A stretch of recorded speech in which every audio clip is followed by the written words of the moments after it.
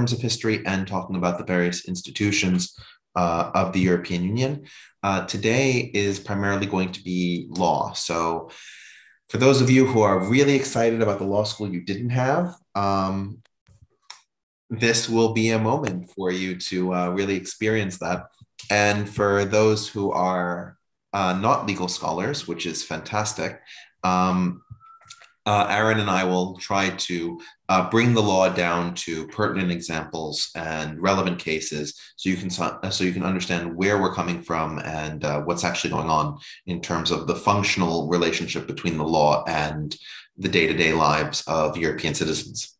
And and and I think it's really important. Um, you know, we we wouldn't normally in any sort of um, uh, supranational um, organizations uh, or institutions focus this much on the law, but in some ways, um, it, it, that is really what the EU is now is a is a is a regional supranational uh, legal organization that is um, really co uh, a determinant in terms of of of law and and and, legal structure in everyday uh, uh, EU citizens' uh, uh, lives, and I and I think it's it, it's pretty clear that that is uh, the larger, higher trajectory of the EU's evolution, especially over the next two, three, four decades. Um, and and then we can also bring in you know some of the some color around um, what's what's shaped this you know the, the the failure of the of the constitutional uh, system development in the in the 2000s and and so on. So you know i just wanted to, to put that out there because i think yeah. someone would be like most people would be like why you know why would i care about this? And right. that, no the the legal development uh, this is one of the interesting things that sort of separates the european union from the project of for example the united states right? Where in the united states if you look at the period from 1781, when the Battle of Yorktown was won, until 1790, you have those 10 years. And in that 10 year period, you had a number of different legal changes and instrumentations as the Articles of Confederation demonstrated that they couldn't hold together the Union, and the Constitution was promulgated and eventually ratified in the in, uh, by the end of 1790. Um, this is an incredibly quick process with one substantial set of legal changes, but you don't have an evolution of intermediate products that occur over a number of generations as the institutions behind them change and modernize. This is exactly the opposite of the EU. The EU is consistently changing the legal system by which it operates.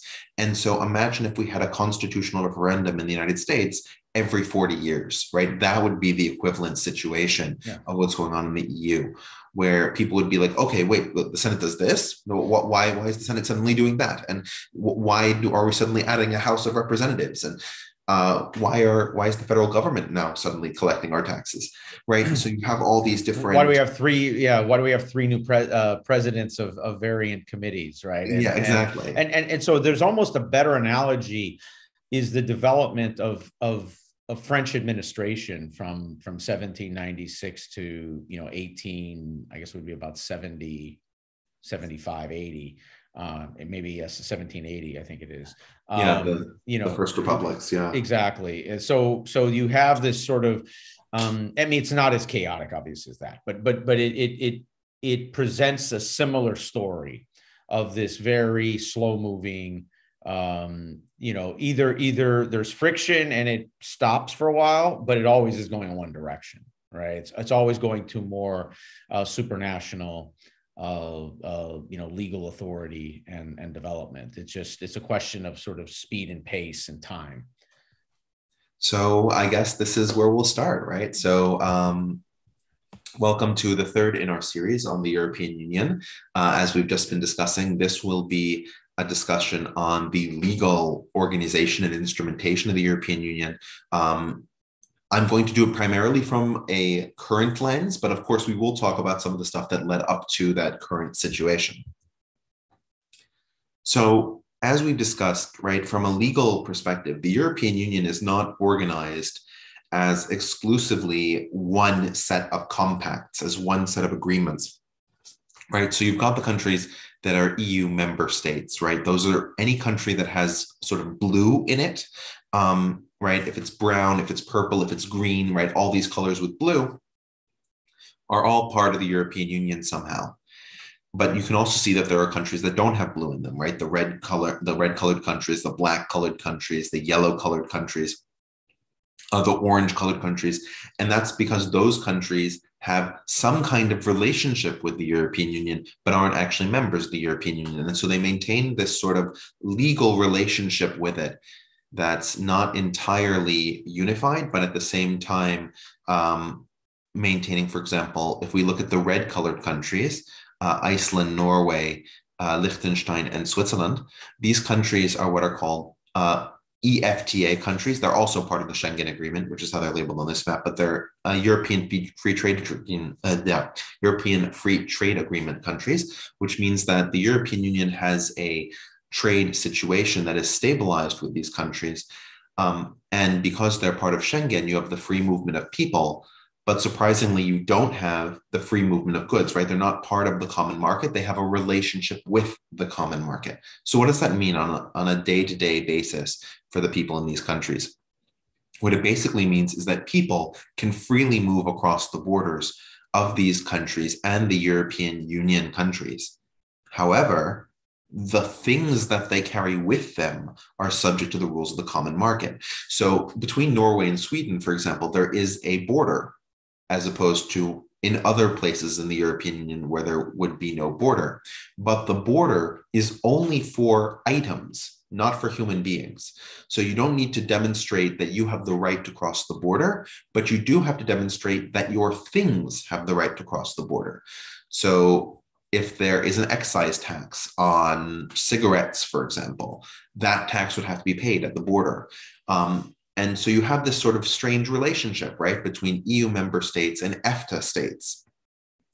You also have situations like, for example, if you look at Kosovo and Montenegro, these the two yellow states on the map, these are countries that are not part of the European Union, but use the euro as their financial currency. So they're tied to the European economic system, right? They can't change the amount of euros in circulation.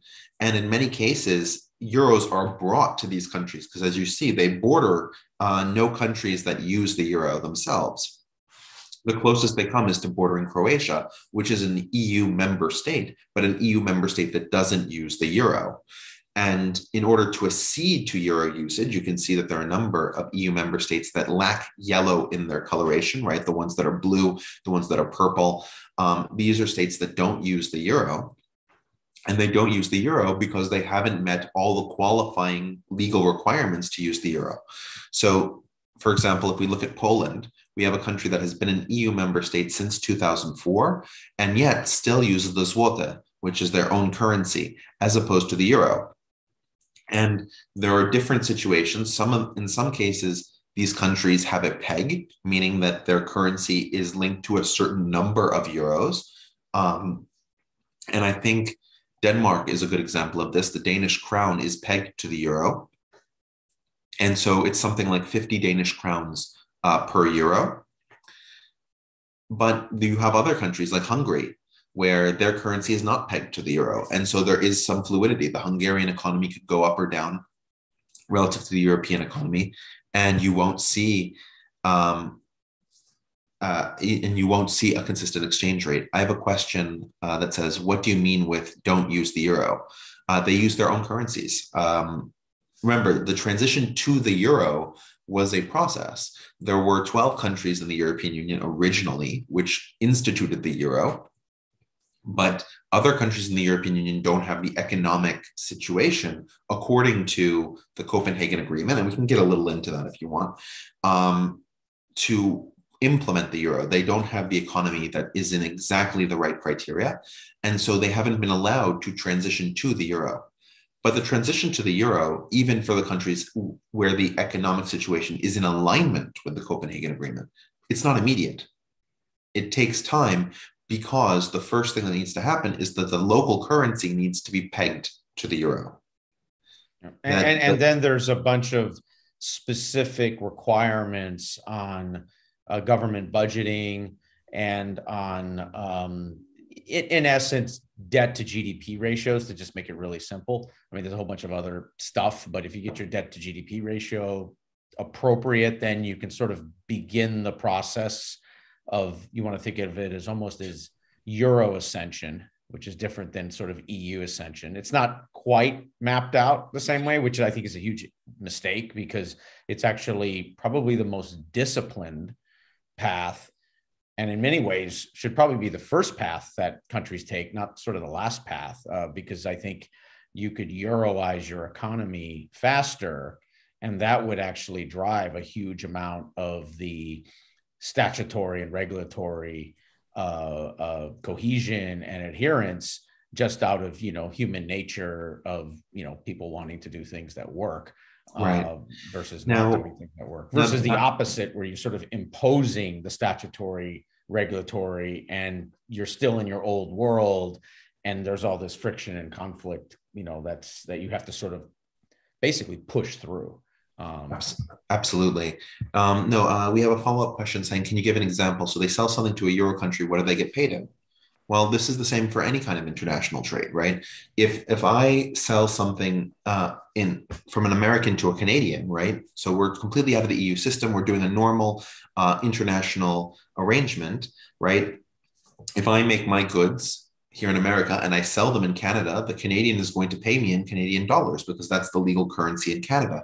And so then I have to take those Canadian dollars as, let's say, a furniture maker, right? I've sold my uh, my sofa in Canada. I go to the bank and I say, okay, I have 500 Canadian dollars. I want to convert that to American currency because I'm coming back to the United States. I want to be able to pay my rent and other expenses in the United States. And they'll, for my 500 Canadian dollars, they'll give me what? 300 or so American dollars, whatever the exchange rate is that day. And then I'll go home. And that's exactly what happens um, in these EU states that are not on the euro, right? Um, for example, I have a friend, she's Hungarian and she works in Austria. So she gets paid in euros because her job is in Vienna. So she takes those euros and she puts them in her bank account in Austria. And if she wants to withdraw those funds in Hungary, she needs to convert those funds from euros into forints, um, which, and, is the, and, which is the Hungarian yeah. currency. And as I was explaining before, right, in Denmark, there's a peg. There's that a certain amount of Danish crowns is always the same as a certain number of euros. That's not the same with Hungary. Hungary hasn't reached the economic position yet where it can even attempt the peg.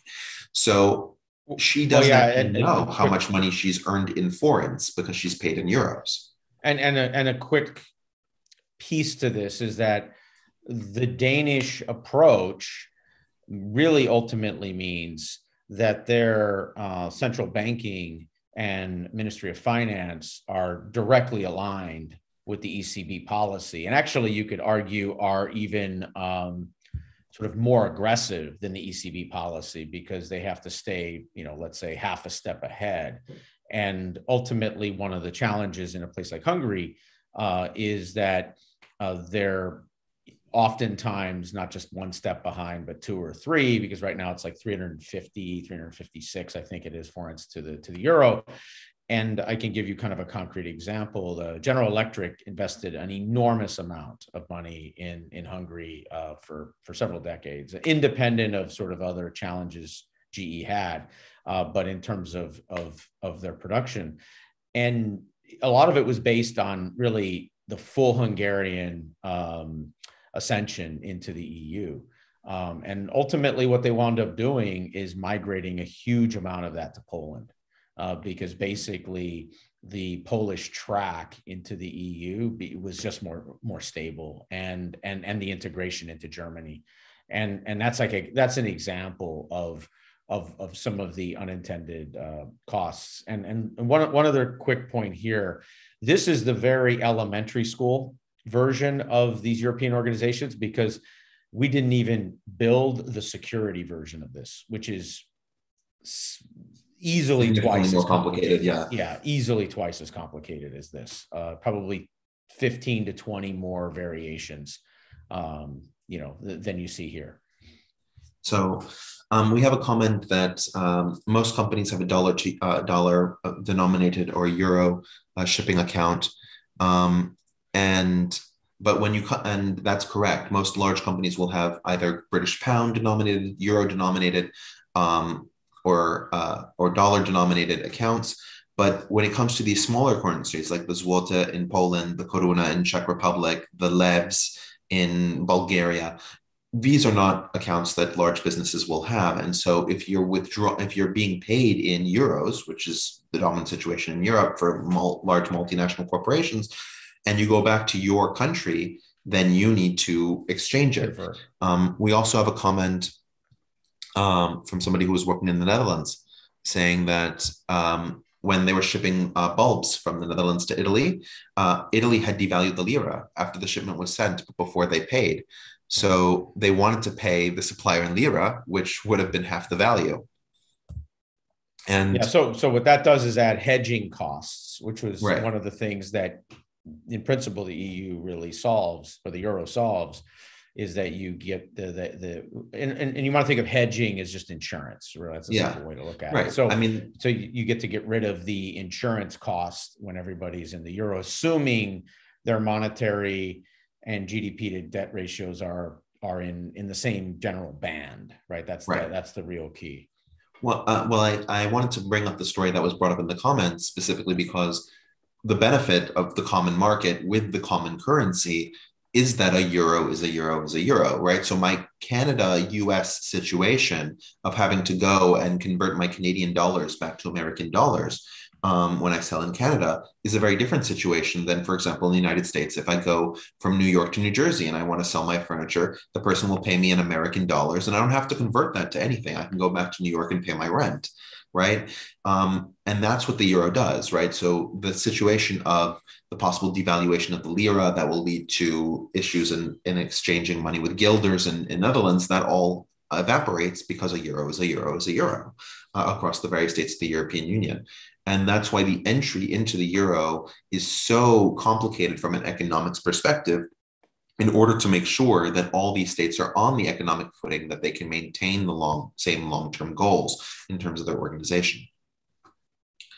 One of the other things I wanted to highlight on this map are the black states, right? Uh, Serbia, uh, Macedonia, uh, sorry, North Macedonia, um, Albania, and Turkey. Um, these states, uh, and I believe Montenegro as well, um, because Montenegro is a mix of a black state and a yellow state. That's why it's a little darker.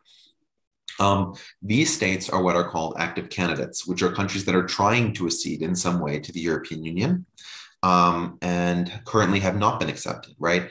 Uh, we talked a little bit during uh, the history uh, piece about the Maastricht Treaty and the Copenhagen criteria. And those criteria um, are required for an, a, a, candidate that wants to be a member of the European Union to follow in order to be accepted as a European Union member state. So we end up with the situation, right, where we have states like Turkey, which is the most famous one, that has been knocking on the EU's door since 1978, before it was even called the EU, right? We talked about how that was still the European communities at that point. But Turkey hasn't fulfilled all the requirements of the Copenhagen criteria since that point, and so they haven't been allowed to enter. All right. So we discussed uh, last time the sort of the origins the, of the European Union through the coal and steel community, then the treaties of Rome and Euratom. In fact, the Treaty of Rome will be amended several times since its uh, publication in 1957 and will be known as the TFEU, the Treaty of the Functioning of the European Union in its current uh, situation, which we're going to rely on in several instances regarding the legality of a number of institutions. We then have that Schengen agreement, right? That free movement across European states, which combined with the euro, right, is an incredibly powerful ability to move across numerous countries with the same currency and basically do what commercially speaking, we do in the United States all the time, right? Drive across state borders, buy things in different locations, sell things in different locations with no customs or borders between the various states. Now, in the United States, we've had this system pretty much since the dawn of colonization in the United States with the exception of the money issue. The money issue is a little different. But in terms of travel, a New Jerseyan during the British colonial period could easily travel to Virginia during the colonial period. Um, and so the development of that was not so difficult. In the in Europe, of course, that's not the case. It was never the case that a German could, uh, from, even somebody from Prussia, could easily waltz into uh, Dusseldorf, right? That required the creation of these national confederations and agreements and, and alignments. So uh, we should understand from a legal perspective just how complex this organization of, of movement actually was.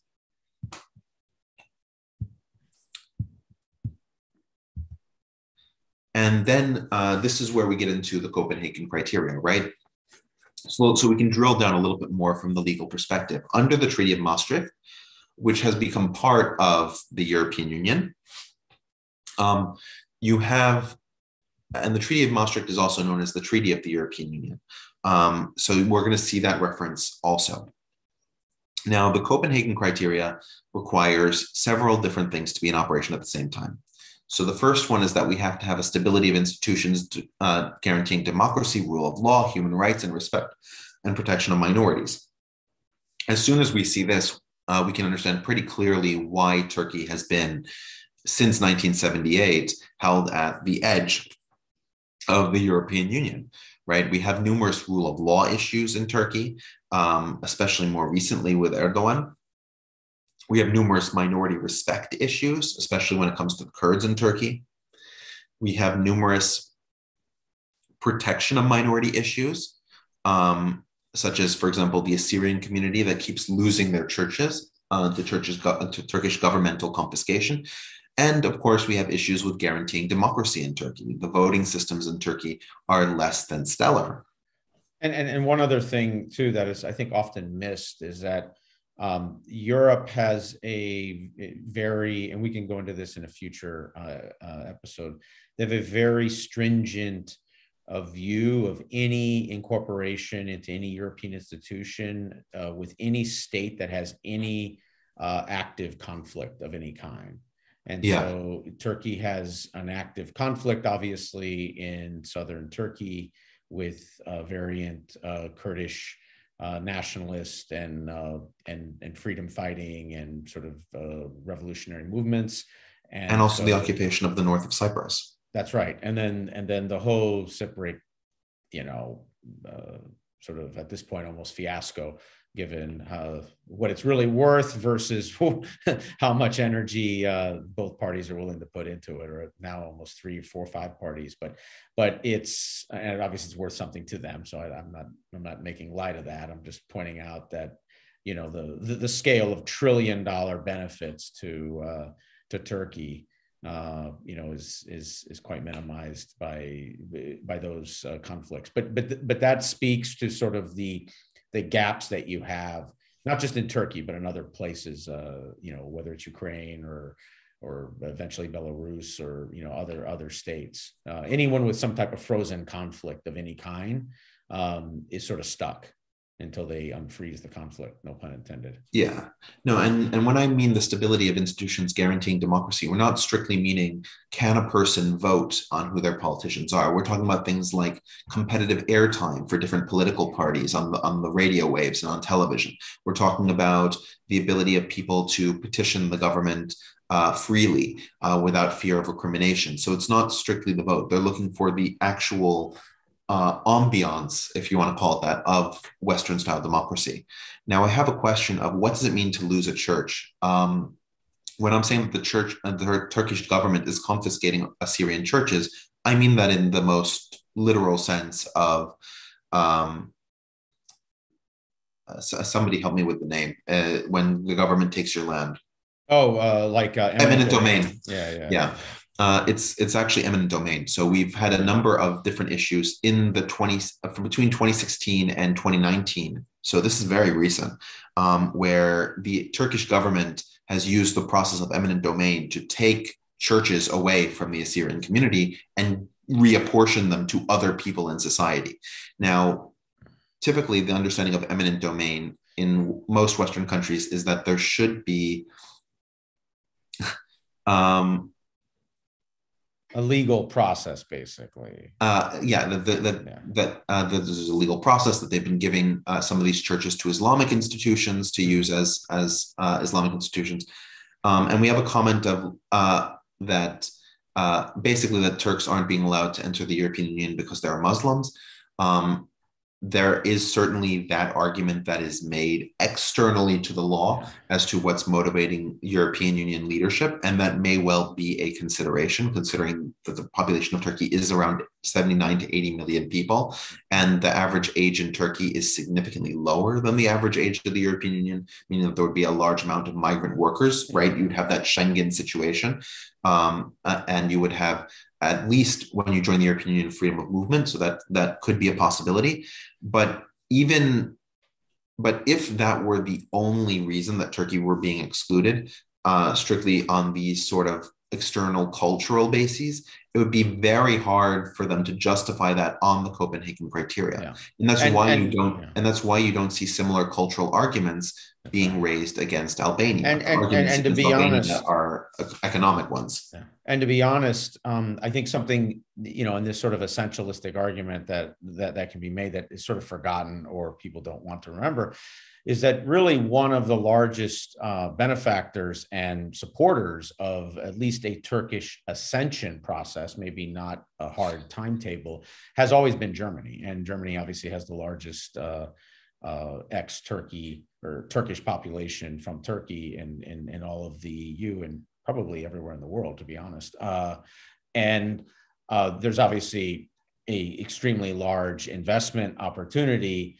in Turkey that really Germany is probably the only state in the world outside of China and the United States that that's actually positioned, maybe Japan, uh, to put the kind of you know long term you know hundreds of billions to, to sort of trillion dollar investment that uh, that Turkey would need and, and and be available for, and so the the, the reality has been um, there was a moment in time, like almost everything that sort of gets lost to history, where there's always been obviously a French let's say to be blunt rejectionist view of of of any uh, uh, outside state, and and and I think where the anti-Muslim majority uh, with large state politics would reside has always been in in, in France in, in sort of a strange and sad way. Uh, but I think Germany had done a pretty good job under uh, uh, basically Schroeder and and, uh, and and and early Merkel in in basically stating the case and and I think using its power uh, to sort of you know say, hey, you know, we got this. Um, and so there was a moment in time where that was an opportunity, but obviously uh, politics changed in Turkey pretty dramatically. Um, and and I think that has been lost for a while. Uh, I don't think it's lost forever. I, I really don't. I, I, just don't underestimate the economic opportunity of 80 million eventually middle class, uh, you know, Turkish consumers added to the EU. Uh, that is a massive, and and and also to be blunt, the military power, right? Because if you really, if you really are honest about European military power uh, and security, it's really the UK, France, and and Turkey that are basically eighty percent plus of the non-US combat power in NATO and in you know basically in in in, in Western Eurasia.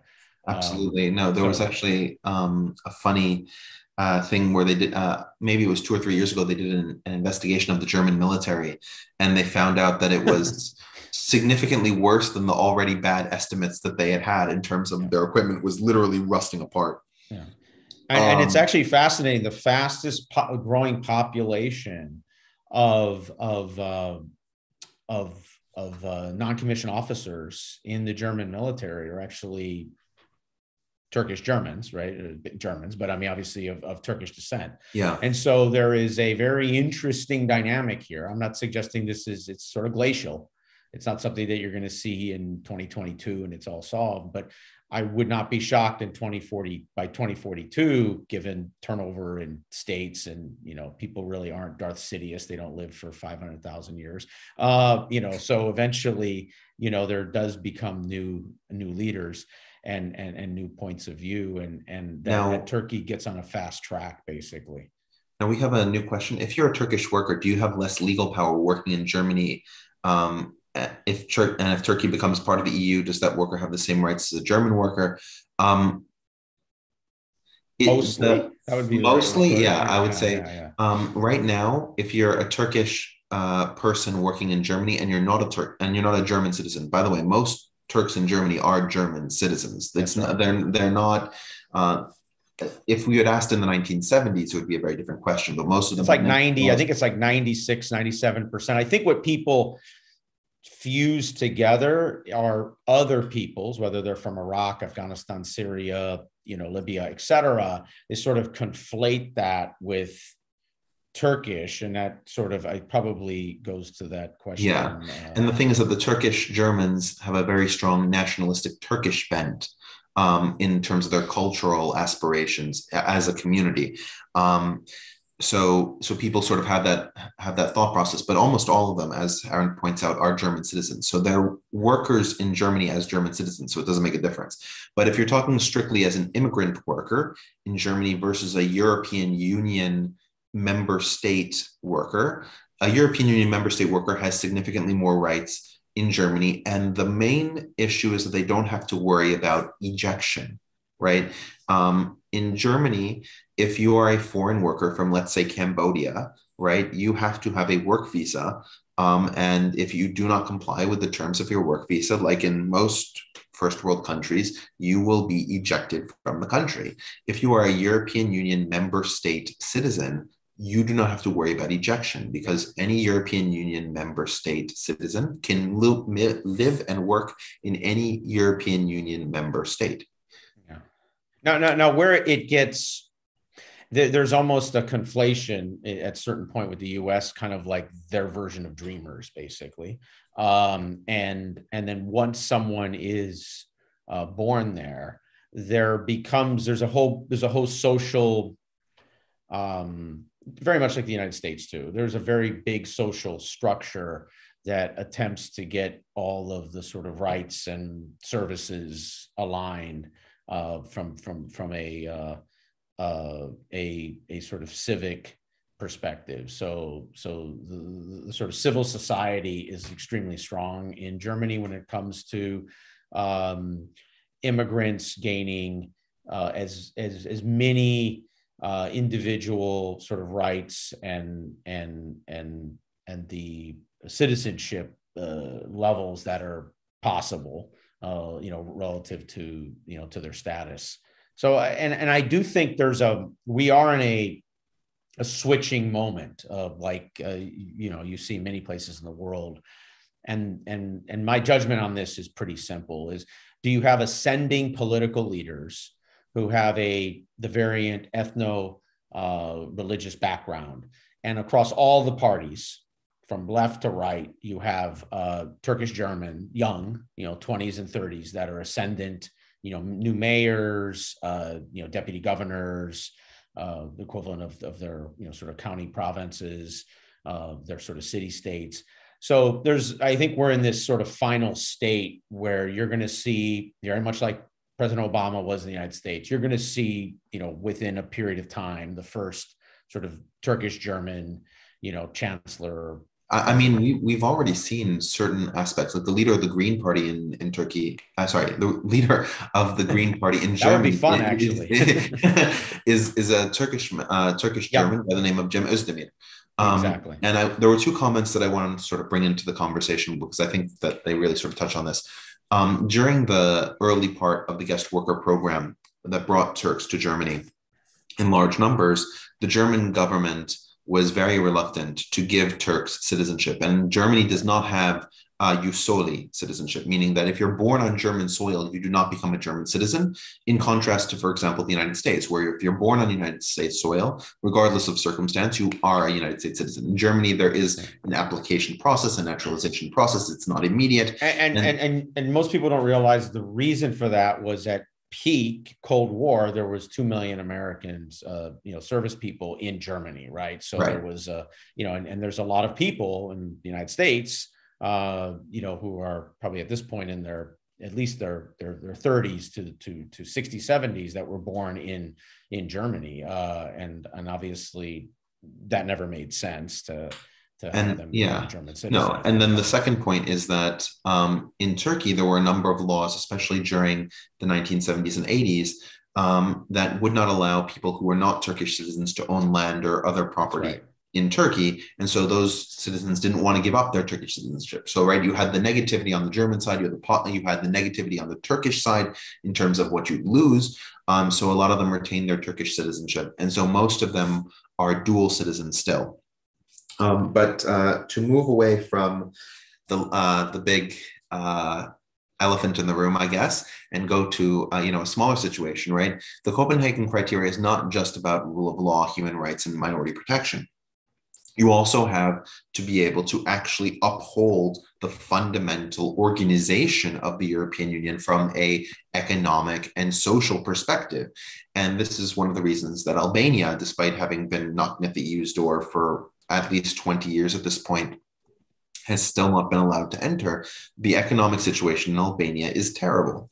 Um, and so the European Union um, doesn't believe that the economy of Albania, under many specific criteria, is capable of being part of a monetary and customs union with the EU. So Albania is also one of these countries that has been applying for a long period of time. And because of these economic issues, has not been allowed to join. So, at a fundamental level, there, there were these two things that became the fundamental basis of the Copenhagen criteria. The first is that you have democratic institutions um, and that you're ruling according to democracy, which is also the reason why Spain was not admitted until the late 1980s. Um, the same with Portugal, because both those countries were dictatorships until the mid 1970s.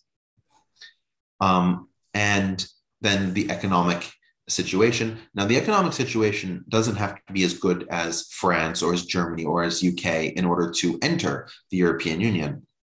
In fact, most countries that enter the European Union are in a weaker economic position than the majority of the countries that are already in the Union the economic position has to be such that they are capable of being part of the common market. And then the European Union has a process by which money is allocated from the wealthier states to the poorer states to help bring them up uh, to a consistent level where they would be able to best participate in the common market.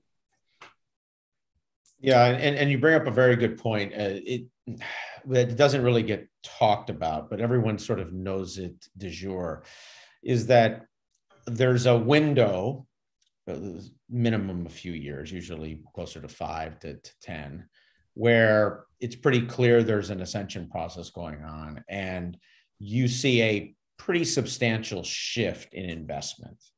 And that is, um, you know, turns things into very de facto for obvious reasons, right? Because you have industry going in, there's capital uh, expenditure. I mean, you know, there it, things shift from small, medium sized business investments to the billions of dollars. And so that drives an acceleration of regulatory policy, statutory adherence. So it almost is a, you know, to be blunt, and if, if you know anything about IR theory, for those of you guys or remember it, it's a form of compellence basically that goes on. So there becomes almost um, extrajudicial compellence through the business community and obviously it it piles on from there into the sort of tourism and hospitality trades. And you know it just becomes a momentum driven event. That's what's so unique and the last point i'll make on, on turkey that they really decided to do a, a 70s chase movie and just drive off the road and you know off the cliff is that that's pretty rare actually. Once you kind of get that momentum going uh, the compellence becomes very strong and obviously within your own society because you know uh, people are benefiting the business interests uh, the educated elite uh, you know the regular jobs for working class et cetera education improves dramatically uh, that's one of the biggest benefits to be honest is yeah. you start getting uh, your diaspora to start moving back into your country you know all that talent yeah. starts coming back it's one of the things going on in poland people were talking about a pre-Brexit a Polish remigration, anyways, that was starting to happen in the 2010s, just because how well Poland is doing. Um, yeah, exactly. Now there was uh, there there are comments about Greece. Uh, um, the situation in Greece with the 2008 bailouts is not the process that we're talking about here with this money shifting, uh, and the bailout process was something that was not supposed to happen. That's not a European normalization mechanism. And we will have a session to discuss the PIGS uh, 2008 economic depression in Europe, uh, because that is a very important uh, crisis that shows how the European Union either works or doesn't work, depending on your. I mean, I mean, to be very blunt, to make it very simple, that was their sort of Lehman Brothers AIG fiasco and in the same way that it had you know extra societal impact um, here it and still does um, whether we even know it or not uh, you have the same thing there. It, it, it was uh, it was an it was an own goal. I mean i think there's no other way to put it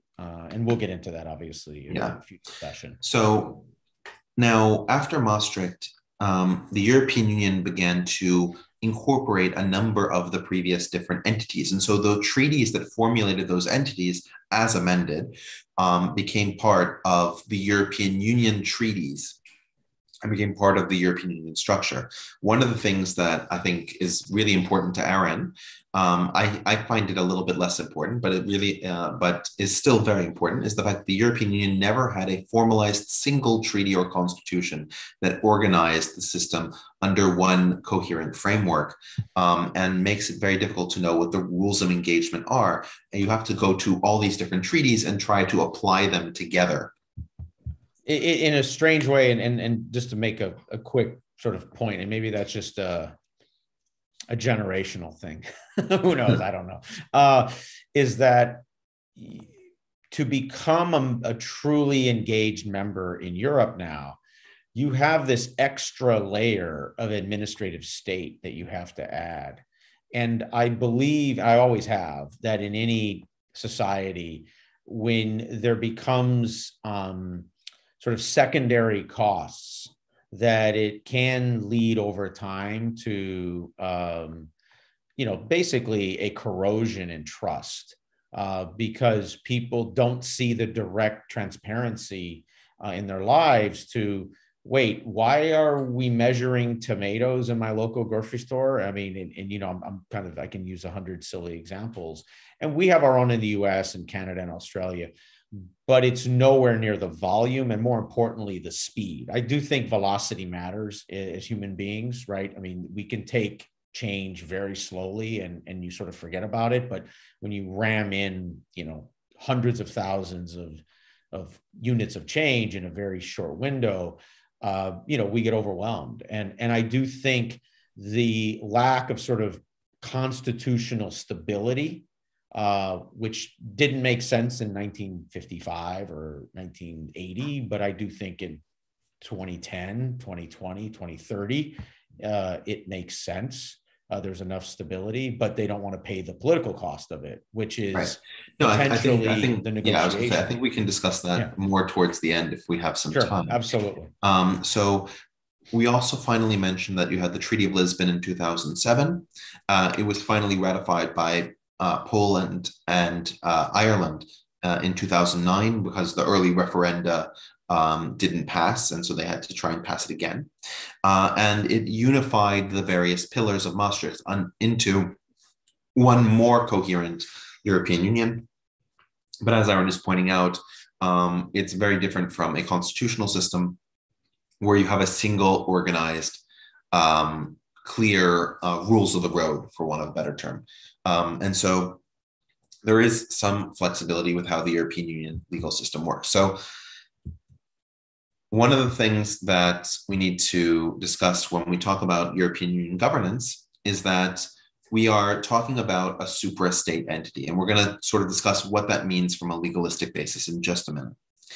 Um, we also have multi-level governance, and this is something that those who are from federalized states, like the United States, like Brazil, um, might be more familiar with, where you have different levels of government with different kinds of um, competencies uh, over which they rule, right? For example, if we take the United States, the United States federal government has exclusive competency on the question of patents. You can't get a patent from your state government. The federal government and the state government have mutual competencies, areas that they share competence in. For example, they can both tax you right? You can have taxes from the federal government, you can have taxes from the state government. And you have areas of sole competency by the states, right? These are laws that the states can create, but the federal government can't create. For example, when you get married, you have to get a state marriage license. You don't get a federal marriage license because the federal government doesn't define what uh, are the requirements or the organization of marriage. And so you have these split competencies at different levels because of the EU system, right? You have things that are EU competencies, things that are shared competencies, and things that are nation state competencies. And we'll go into more detail about that in, uh, soon. And finally, we have the issue of legitimacy. The European Union is an entity that, as we talked about previously, um, has a number of institutions that are not directly elected by the people. Most of them are indirectly elected because they are appointed by people directly elected in the member states or indirectly elected in the member states if they're part of a party list, right? So there's a question about are is there a surrender of democracy going on here uh, through the creation of this European Union? And does the European Union have legitimacy given how little individual citizen input it has in its construction. I mean, I would argue there's a subsidiarity that and a diffusion that occurs and you know i won't mention my you know where i stand on the constitutionality of it but that's sort of the whole point is that because of the lack of consistency and clarity that that subsidiarity and that diffusion of power it almost resembles sort of an old school 1940s 50s 60s backroom politics right? Cigar smoking right? In that stuff goes in something comes out. And people don't have a sense of well why was what's happening in the black box? Yeah yeah what's happening in the black box? And people are basically saying oh trust us we're the experts. And when you're a you know a small business farmer in you know a french uh, regional province or wherever italy italy doesn't matter you know you look at that and you know you you you respond accordingly it's not irrational actually uh, yeah. and because you go to your local politician um you know or, or it doesn't matter what what uh, yeah, party they're in. Yeah, you go to the mayor. They just don't have an answer. They're just like, uh, you know, they made the call, and then you know, and, and and everyone just does this, like a kind of an old school cartoon and uh, or comic strip and they're all pointing at each other and and that's where i think they have a a fundamental challenge of of, of that diffusion and that subsidiarity and i think they're just afraid of you know i don't mean this in the crazy way it sounds i think they're afraid of the people in that there might right. no, the, a, it, there's a very strong prussian um, and it's been developed through European uh, psychology that the common people don't know what's best for them, and that you need an enlightened group of individuals who are well educated, who understand the complexities uh, of either economics or development or organization to make the rules that will work best for the best number and be best applicable. But the problem is, is that the European Union is an incredibly varied situation, and those who are educated naturally don't know everything that they are supposed to know um, or believe to know uh, by dint of their education. They simply haven't had all of the experiences of the various different people of which they're governing. Doesn't mean that anybody could ever have that, but it just means that they don't have that. And so this idea of defaulting to the experts doesn't necessarily mean that you're going to get the right answer, or the best answer every time. And that's what and that subsidiarity issue uh, highlights that. Yeah, All right. and, and and and I think the the one last quick point is is that clearly the last you know let's say several generations around the world are are consistently showing that uh, republican democratic i don't mean parties i mean political um, philosophies and, and and legal approaches um, apportionment of, of, of inclusion has consistently borne out that populations are, you know, smarter is the simple way to look at it in terms of their sort of crowdsourcing of what really works on the ground and what doesn't work on the ground. And, and it might look messy, uh, but in the end, you get a pretty consistent result all over the world uh, whether it's where do we put the train or where do we put you know this new school or this building or you know a zillion different decisions we're seeing this uh, and, and a place you're seeing this borne out is really across a, a large part of uh, West Africa right now. It's just, just exploding in sort of diffusive subsidiarity uh, politics, and uh, might, might not get a lot of press in in, in sort of uh, Europe and the U.S. But but I think there's a dynamic that this is the sort of this is the big hurdle the EU at some point has to jump over, where they yeah. have to be comfortable with the fact that the farmers across Europe, not just French, but everywhere, might have really good answers about their needs. And that maybe having a space that that can work out works. And the same thing with urban dwellers, the same thing with you know industrialists, et cetera. And that's to me, the, in a strange way, I think one of the we know what's right of the European design is they did not want, going back to really the 60s, 70s, and 80s, to bring in this sort of what is the interest based American politics, thinking that that's sort of a unique design, uh, which, if anyone's read history for thousands of years, there's nothing very unique because the Warring States had that in China 2,300 years ago. And so, you know, humans around interests, I don't think is a uniquely American thing. Anyway, I think, anyway, let's. But, but um, anyways, but but but but the point is, uh, the last point here is that that really is this gap is interest-based politics and sort of uh, local national politics and larger EU and subsidiarity. That's where the, the that triangle is where the most of the conflict is basically. That's absolutely correct. Um, now, for the rest of this we're going to be a, even more legal than we've been so far so if you if you you know if you were worried that you know we haven't cited enough laws and specific precedents don't worry we're we're, we're, we're getting there so um, i wanted to sort of put together a number of questions that uh, that really are touching the legal issues that we're going to be seeing right? What's the relationship between the european union and the member state national legislatures right? We were sort of talking about that shared competencies question. We're going to get more into that. What are the rights of eu citizens with regards to the expectation that eu laws will take effect right? The eu law passed the eu um, you're right you have the uh, the council of ministers you've got uh, the, the members of parliament and they pass a law that the commission has given to them. Okay, how does a European Union uh, citizen expect that that will happen, right? Because there's no EU police force that's running around enforcing these laws. There's no uh, EU print shops that are, you know, putting the, the law on the side of, you know, different bus stations. Like, how do EU citizens know uh, that they will take effect, and how can they petition uh, if there's a problem with the effect taking, right? Um, how is EU authority circumscribed? Like, what kinds of things can the EU do, and why can't the EU do other things? Right? Who's going to stop them? Um, right? Then what happens if member states decide to contravene key objectives of the European Union? I mean, we see this today, right? Where Poland and Hungary uh, are disagreeing with European Union uh, initiatives with regards to immigration. So what what does the EU have as weapons at its disposal to compel observance of certain requirements, and if it does, when should it use them? Um, do member states have the right or permission to nullify EU laws, and if so, how are these delimited? Right? How can do member states have the final say? Does the European Union have the final say? What what does that look like? How is that how is that organization built?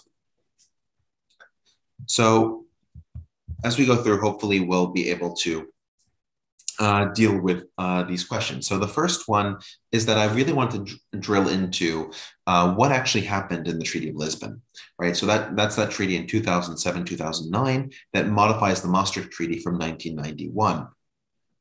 Um, and so what ends up happening is the first one is the legal personhood of the European communities comes to the European Union as a whole entity, right?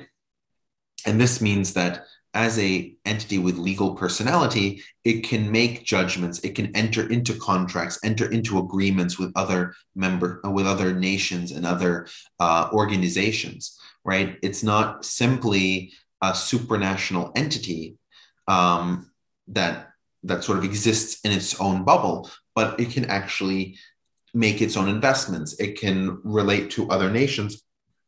And so it can sign its own treaties like a company would right? So this is uh, so this is very unique because for example the united nations can't contract with i don't know the somalian government to to build something. The members of the united nations themselves will make relationships with somalia to build whatever. Um, and so this gives the european union an incredible amount of leverage in terms of its own negotiating power the next thing that's worth discussing is the pillar structure. So we had those three pillars um, in Maastricht, and those pillars are merged, by which by which we mean that the, we don't have separate councils doing different kinds of policies. All of the policies that the European Union is capable of promulgating are going to be promulgated by the Commission, right? That's that executive branch, and then given over to the Parliament and the Council of Ministers. Those are the legislative branches, right? And then back to the Commission for uh, approval and instantiation. And those can cover uh, not just the European community issues, which are the economic issues, but also the common foreign and security policy issues, which were separate from the European communities, but are now integrated with the European Union. And you also integrate to that the security uh, internal matters, things like criminal uh, information that can be uh, provided through the Schengen agreements and conventions. All of these are unified in the body of the European Union.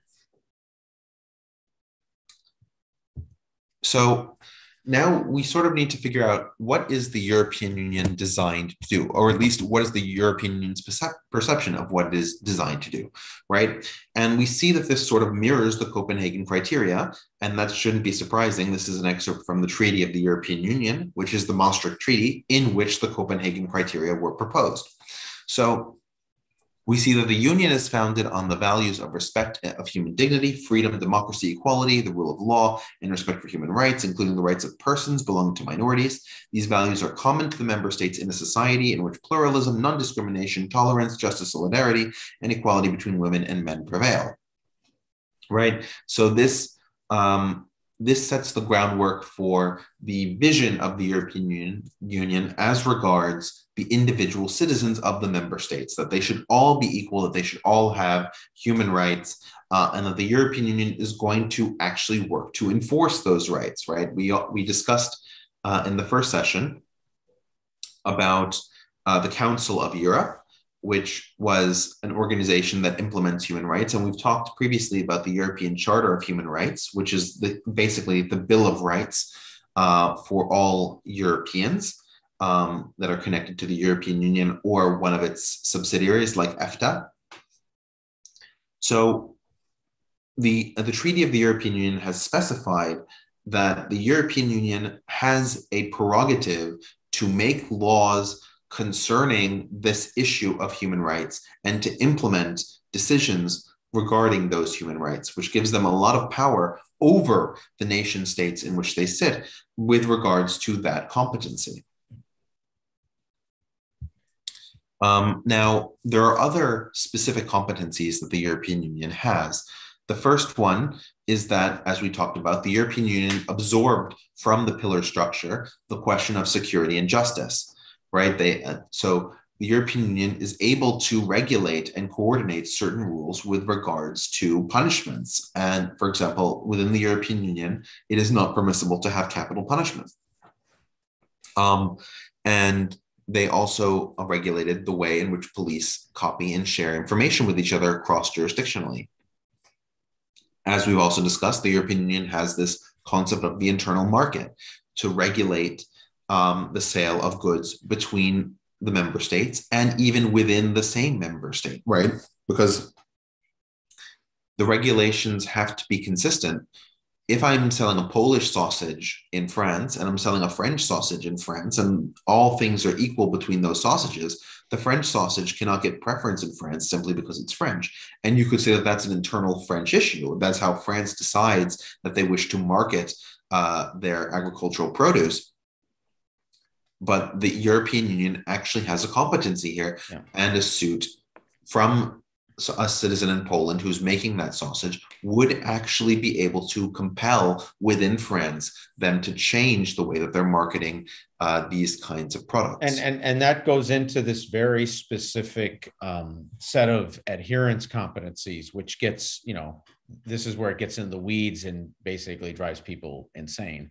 Um, is that they'll look at, uh, let's say, the logo sizing and the prominence of anything that could have a national representation. So if if the uh, anything that is representative of a flag or your nation's colors will have to have uh, sort of an adjudicating limit, and any other outside party that is competing, uh, it'll go down even into uh, placement in stores uh, which is where you know it just turns into to be blunt mush uh, because you have uh, you know um, consumer packaged goods companies that are trying to promote their products. And you know it just it turns into you know you have to add a sort of a legal layer into every uh, business activity if you're to be blunt if you're if you're consumer facing you just have to assume that. Um, and so that's where I mean, what you could make a very fair argument that a lot of the sort of values norming of trying to create a, a more European um, mindset was a very 70s, 80s, maybe 90s uh, construct. I do think for a majority of people by the 2020s, I think they're smart enough to know when they're buying a Polish sausage from a Hungarian one, from a French one, from an Italian one. And this idea that everybody is sort of a, you know, a, a, like a like a country bumpkin and gets tricked into buying their uh, sausage because they're nationalists because because the colors come out and that moment triggers your your your inner uh, nationalism to acquire that and, and throw the other away. I do think that's a construct that at this point is is pretty ridiculous. Um, and and and so there's an enormous amount of which you would say is uh, regulatory and statutory compression uh, that is sort of reinforcing itself. It's almost its own physics, and yeah. that's where these values and objectives and this is really back to the earlier point about sort of the friction like this is where the rub is is at what point do you almost um, so peculiarize a thing you know so a venetian behavior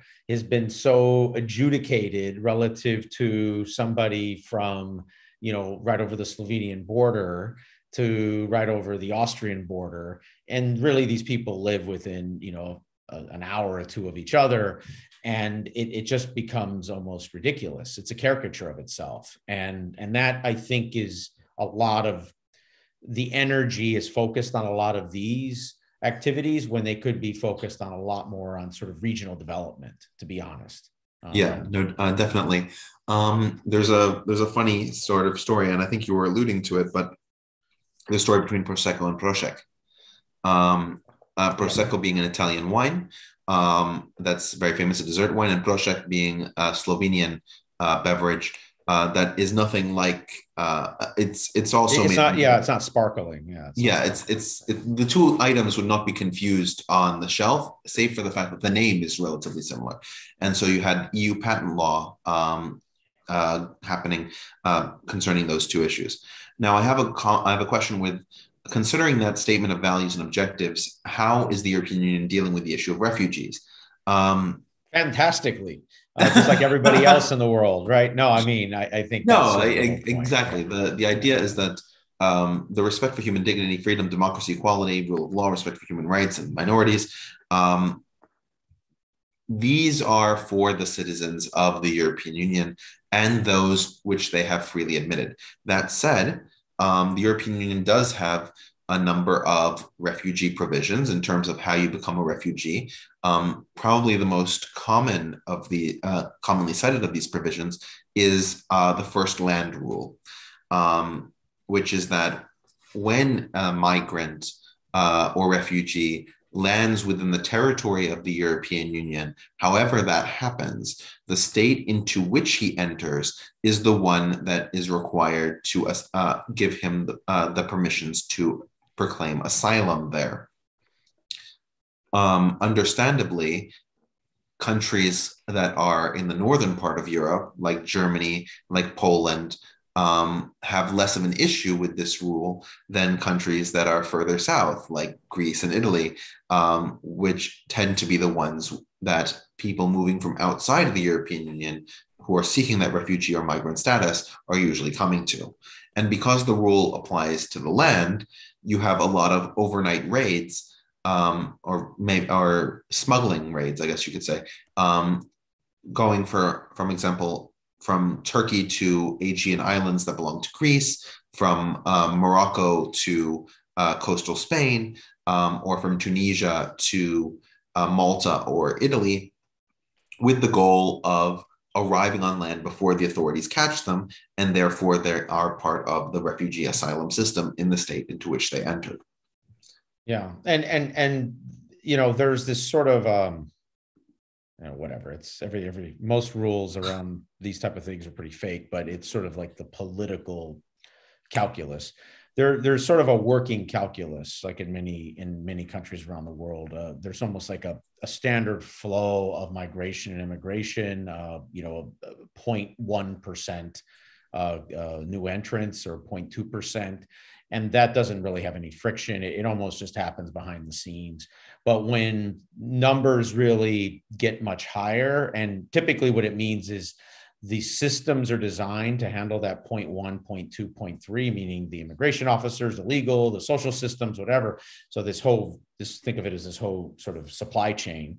Um, but when you get five times that number, 10 times the number, obviously those systems fall apart and the news jumps in and, and you know, and, and the chaos, or at least the the imagery of the chaos dominates that's when there is this fundamental challenge to immigration uh, uh, or the the volume of it. And then in some cases, you really do have a, a, a substantive change, like when uh, um, Chancellor Merkel, you know, changed the policy in 2014, 15, 16, you know, and uh, over a million or several million uh, uh, people came in to Germany uh, which is a pretty enormous number, right? If if any um, uh, president of the United States or prime minister in Canada had, had a proportional volume, that would be you know uh, eight million in a year or two in the United States, or that would be you know uh, a million almost in Canada or in Australia. I mean that that would you know there's almost no way that wouldn't impact politics, no matter who you know wh- who has the government or, or or where the population is, just because the systems aren't set up to process the scale of that type of change. And so I, I do think that's where the friction is ultimately are um, just the volumes you have. And, and I have a, I'll put a link in here that shows that the average uh, uh, migration into the EU is, is somewhere between two and three million a year across all of the EU, which sort of fits this, you know, 0.4 percent um, you know, in and out. Yeah. yeah, yeah, yeah, exactly, exactly. Um, I, I have a couple notes in the comments. The first one is that uh, when you're talking about geographic uh, indicators, uh, GIs, those terms can only be called. Uh, those terms can only be used in cases where it's coming from that region, right? Champagne wine has to come That's from right. Champagne in France. Uh, Parma ham has to come from Parma in Italy and these kinds of things. That's absolutely correct. Yeah. And, um, and, and and one other quick point on that that I think um, ultimately, you know, science does win out, however long that actually takes. but um, one of the interesting studies is behavioral is that well this whole idea of you know tricking people which you know uh, yes sure some people get tricked once sometimes twice very few people get tricked 60 times in a row um, that they found is that if somebody drinks or is expecting prosecco and they don't get it they know that um, so they bought one bottle of something else they did have a discovery process in finding out that a that wasn't that and b this is some other new product and c and this is the key is it reinforces their knowledge of what something actually is. So then their adherence to getting Prosecco goes up. And behavioral economics and psychology has pretty consistently proven this.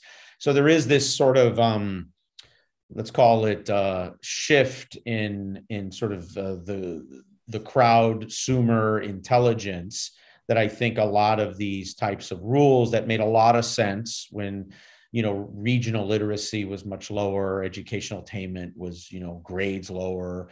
People and were much more was far harder to come yeah, across. yeah yeah, yeah exactly. Uh, uh, you know like basically asymmetrical information was low. I mean i think today most people have a smartphone uh, and you know you see something you don't recognize and one of the first things you do is search it and figure out what it is. And you know it's not some uh, sci-fi movie where they're out to trick you to get you know croatian wine. Uh, so you know it, it's ultimately you're going to figure out what you're getting. Yeah. Uh, and and i think that's going to be a, a, shift at a certain point in a lot of this european identity uh, or what we call that eh, you know european identity. So then we had a follow-up comment that every country has their own understanding of how to deal with the refugee problem. It's not quite like that. It's a shared competency right? The european union has some of the uh, some of has set some of the rules and some of the way that it's done, uh, primarily because they're responsible for maintaining the mo- the movement of people between EU member states.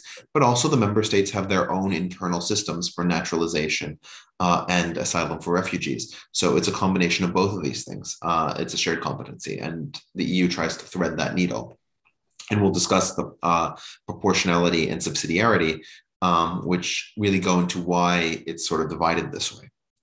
All right. Um, we also talked about the economic and monetary union of the European Union, right? The ability to create uh, the European Central Bank and publish uh, the euro notes, right? That's a, clearly a core competency of the European Union.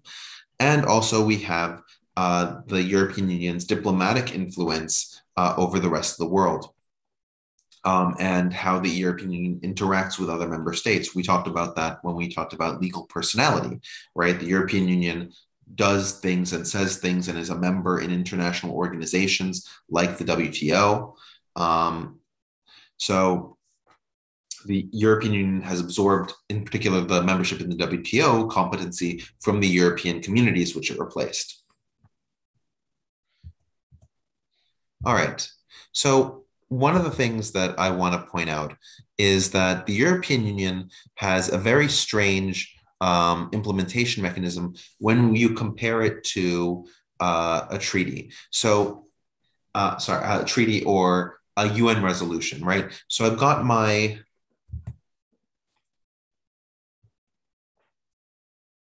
um, so I've got my international instrument, I've got my treaty. Um, the treaty doesn't suddenly become the national law of a member state, right? I've just ended, let's say, World War One, and I've got my Treaty of Versailles, and I'm so excited to go before the U.S. Congress and say, "Voila! You now have peace with Germany." And the Congress looks at me and says, "No, we need to ratify the treaty." Right, we need to. In fact, the United States did not ratify the Treaty of Versailles. Right, we made a separate peace with Germany in 1921, but um, right? So the treaty doesn't have effect until you have the national measure implementing it. In the case of a treaty, it would be ratification, right? If you have the UN Security Council making a resolution, that resolution doesn't get implemented until there is a corresponding understanding of the treaty implications and a signed law in the United States that would impose the same kinds of situations. At each one of these international institutions, be it a treaty created institution like the European, uh, like the United Nations, or a treaty itself, the only method of implementation is if the member, if is if the state that is involved takes an affirmative action to make that law part of uh, its society, right? And then that's how it becomes part of the national legal framework, is through the nation itself approving somehow of the international instrument. And what makes the EU different is that there is no requirement for the national governments to perform any implementation acts. As soon as the EU approves a law, right, the Commission has finally received the law from uh, the European Parliament and the Council of Ministers, they approve it, and it is a law. The European member states do nothing before it is implemented. It is immediately part of the framework of those nation states. They don't have any action to take, which is very unique. And we call this direct applicability. And it creates a separate legal order. And the European Union law takes primacy. Um, this means that if a European Union law and a pre existing law in a nation state conflict, the European law takes the lead in that legal situation. So let's say that I have a law in my country that corporate taxes need to be at 15%. The European Union uh, passes a rule that they cannot exceed 12%. Suddenly, my 15% income tax goes out the window, and that 12% income tax is directly applied in the European Union member state on the date of applicability granted in the European Union law, which may be less than a month uh, after it's been announced. So we've talked before about how a European Union law is made, but it's worth going through the process again. So the first thing is that the Commission will send people out to consult and discuss with citizens, interest groups, and experts in order to figure out what would be the best rule to possibly implement right? This goes back to, as, as I mentioned earlier, this sort of Prussian style, we know best. And so we'll hear what you all have to say and then completely disregard it. So when we do that disregarding, we're going to draft a formal proposal in the commission. That proposal is then sent, right? The commission is the executive, and they'll send that proposal to the parliament and um, that should be the Council of, of European Union uh, Council of Ministers, but okay. Um, yeah, Council of European Union and Council of Ministers are the same thing. But um, so it's sent to the European Parliament and the Council of Ministers to debate and modify, but generally they approve of the proposal. And the proposal goes back to the European Commission, which makes it an official rule of the European Union. And then once it's a rule, the national and local authorities implement that law, right?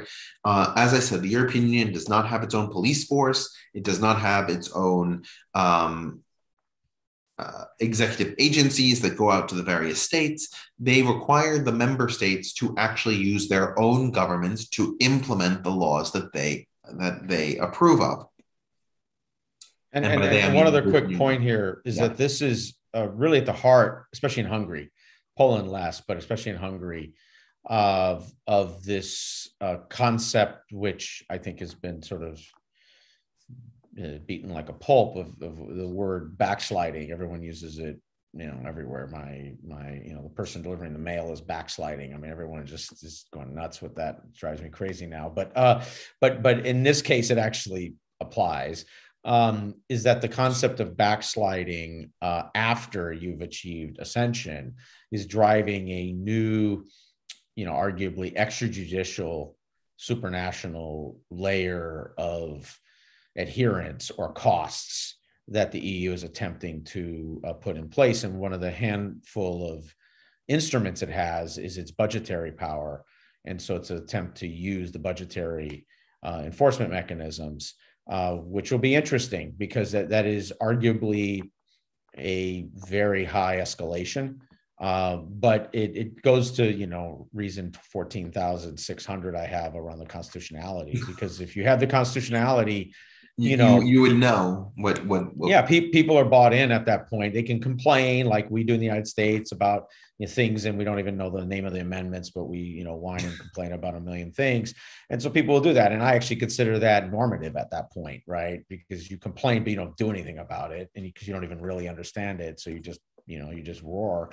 But there's something different when it feels like everything has an instrumentality that can be adjudicated one off. You can negotiate everything, right? So at the end of the day, there'll clearly be some Hungarian negotiation, which will be different than a Polish negotiation, which will be different one day than a Serbian one, and on and on and on. And, and you get this incredibly trifurcated or quadricated, I don't even know what the word would be at that point, uh, fragmented um, implementation, uh, which as long as everybody is sort of piling forward, nobody wants to rock the boat. Uh, but the boat is always rocking by by its nature. And so I, I think that's one of the dynamics that makes this very real right now because uh, I think Poland and Hungary, these aren't small states, right? These are states that have a huge uh, set of, of, of, responsibilities in, in, in the EU. Um, and in some ways are representative of sort of the future growth states within the EU, you know, towards the east uh, or the central, central east, whatever. And, uh, and, and, and I think that's where this friction is pretty substantial. Yeah, absolutely. Um, and finally, after the national and local authorities implement the law, or in the case of Hungary, don't implement the law, um, the European Commission and the Court of Justice oversee this implementation, right? Um, the Court of Justice, primarily through cases, and the European Commission through analysis and further discussions and consultations with citizens, interest groups, and experts. Um, I have a comment that uh, the EU has ruled out that budgetary cut uh, has ruled that budgetary cuts can be made for uh, nation conformance or backsliding.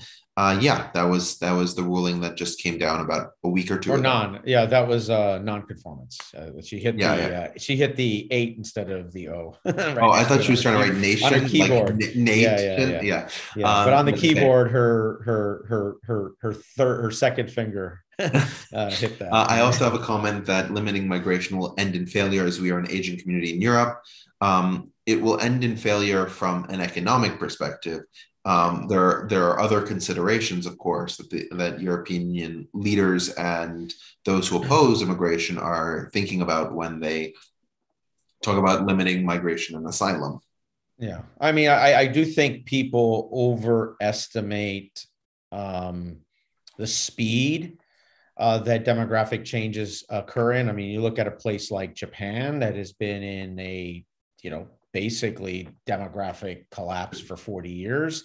And, um, you know, they still are around and they're still basically the third largest economy uh, in the world. And so um, I, I, do think, uh, you know, people overestimate the speed of uh, of these type of changes, primarily because even when demography sort of switches against you, um, it's not a sci-fi movie, right? Everyone doesn't die on Wednesday, right? They, they still live out their 80, 90 years, and that's a long time, right? So when your demography flips, which is really when your population average age basically gets above 40, really, that's sort of like the simple way to look at it. Well, that's especially with healthcare and so on, that's another 50 years, 40, let's say 40 to 50 years. Um, so you can you'll you'll sustain quite a bit over that time. And to be blunt, however um, reduced or limiting the immigration is to Europe, it is still a net uh, positive in terms of immigration. That those two to three million people a year, um, you know, are are coming in. Um, and we're also not including the ascensions. And if we assume, I do, in the next 20 to 40 years, Turkey will ascend um, to some status, whatever that status is. Um, that'll be, you know, 80, 100, 110 million people. And that's a pretty big, um, you know, uh, uh, green juice shot, you know, of health into the system. So um, I, I, am not um, I might I might have negative feelings towards the constitutional stability of the EU, but not towards the broader project. I mean, it's basically yeah. the largest productive uh, coalition of of, of security and economic development in human history. And uh, through the rest of the century, it's going to, you know, evolve accordingly. Um, and I think to me, that's just sort of facts on the ground.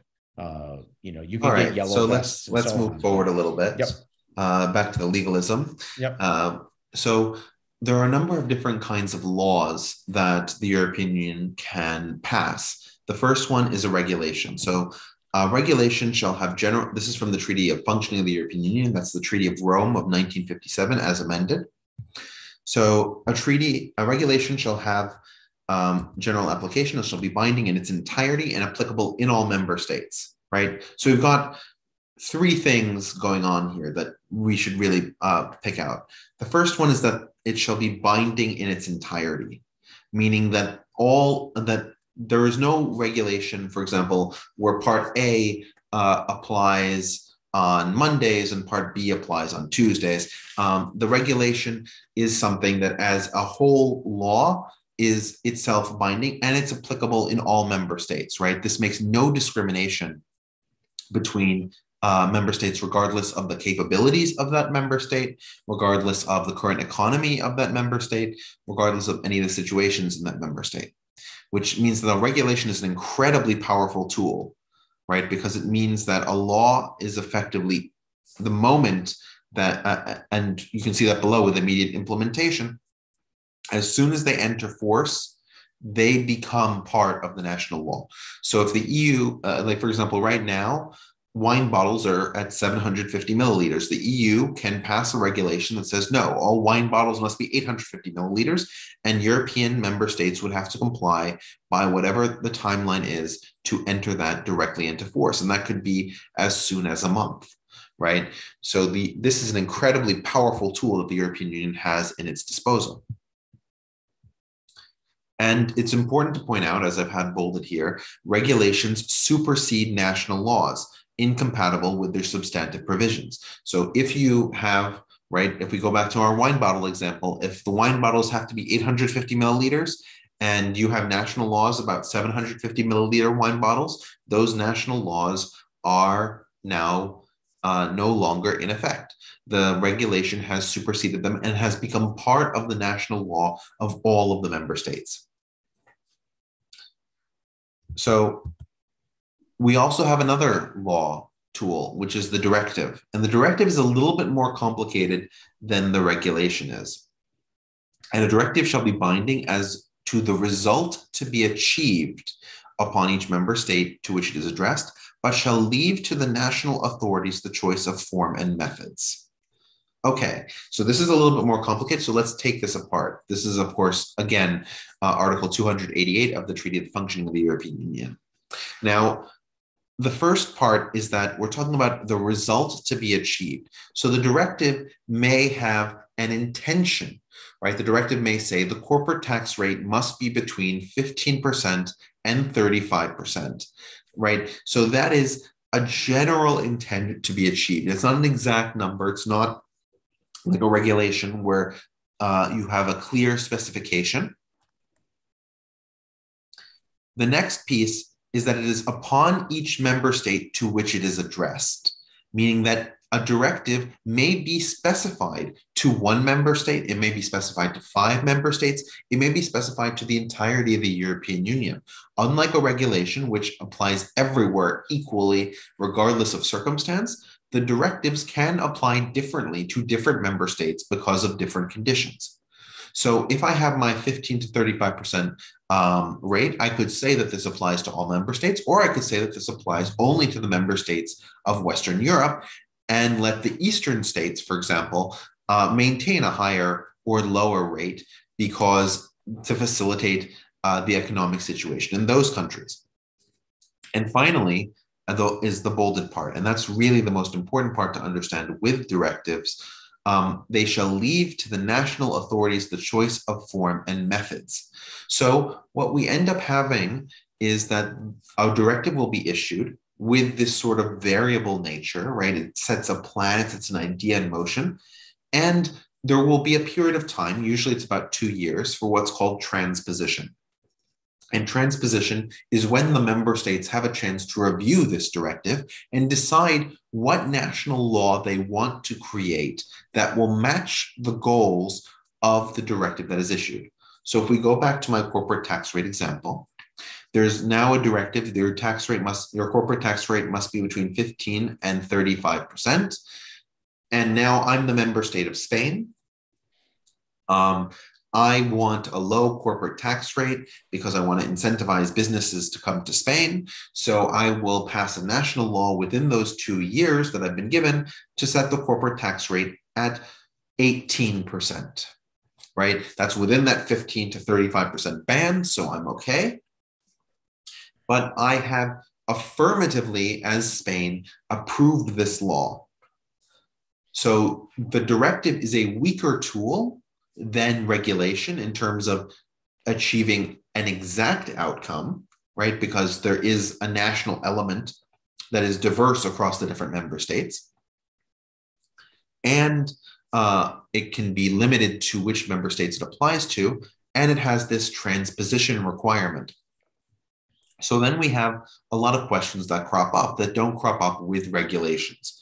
We have questions of, okay, so I'm a Spanish citizen. I've seen this directive that sets the new corporate tax rates. And I see that the current Spanish tax rate is 40%, right? It's outside of that window. Uh, and it's been, you know, a year, and Spain hasn't passed a law um, transposing this directive. Do I have a right to sue? Do I have a right to compel Spain to address the situation that they haven't transposed the law yet? What if it's three years and we've now passed that limit on transposition according to the uh, uh Article 288? Uh, sorry, according to uh, that particular directive. Do I now have a chance to sue? What if Spain decides that, oh no, we have to drop the corporate tax rate from 40%? So we're going to raise it to 70% for the next two years. And the day before the deadline hits, we'll lower it to 35%, right? Because we want to capture all the revenue we're going to lose by having to lower it into the band by the directive. These are, of course, serious legal questions. And the European Union has attempted to resolve them. The first one is that the provisions of the directives cannot be pleaded directly by individuals before the transposition date has expired. So if I go back to my one year example, right, I've got a two year transposition timeline. I apply within one year saying, hey, you should drop the corporate tax rate because it's not within the guidelines of the new directive. No dice. Spain has until the end of that transposition timeline in order to correct that. However, if we get to that three years and the guideline and the guideline in the directive was for two years, then this private citizen does have a cause of action against Spain for failing to transpose the directive. And furthermore, if I go to my 75% example, right, where Spain raises uh, its corporate tax rate in order to recoup funds that it will have to lower because of the transposition of this directive. The, this can also be sued. The member states are required to refrain from any adopting any measures liable to seriously compromise the result prescribed by the directive. They have to, at if they don't move uh, in the direction of the directive, they cannot move in the direction opposed to the directive. Yep. So as an example, they can't, and I mean, this is really the heart of it. Also, they can't um, uh, create a tort, an injury towards an outside party. So, you know, they could raise uh, for those two years, you know, 75% out of bound, 50%, uh, whatever to, to, to international companies, but then lower their, uh, their, their, their taxes to 18% for, you know, Spanish national companies and then maybe Malaga has a special tax credit of 8% so that the effective rate would be 10% versus 40, 50, 60%. And that Malaga based company would gain a huge uh, operating a- advantage so that when the trans uh, position was implemented, that you would have resized the market, right? So that's a big uh, you know, that's a big red line actually, uh, and has been proven pretty consistently. It's actually a very strong uh, adherence tool that they have uh, that that actually I think is pretty effective. Absolutely, um, yeah. So you have this transposition situation that occurs. Um, so then you might be asking yourself, why would I ever use a directive instead of using a regulation? regulation is significantly more powerful.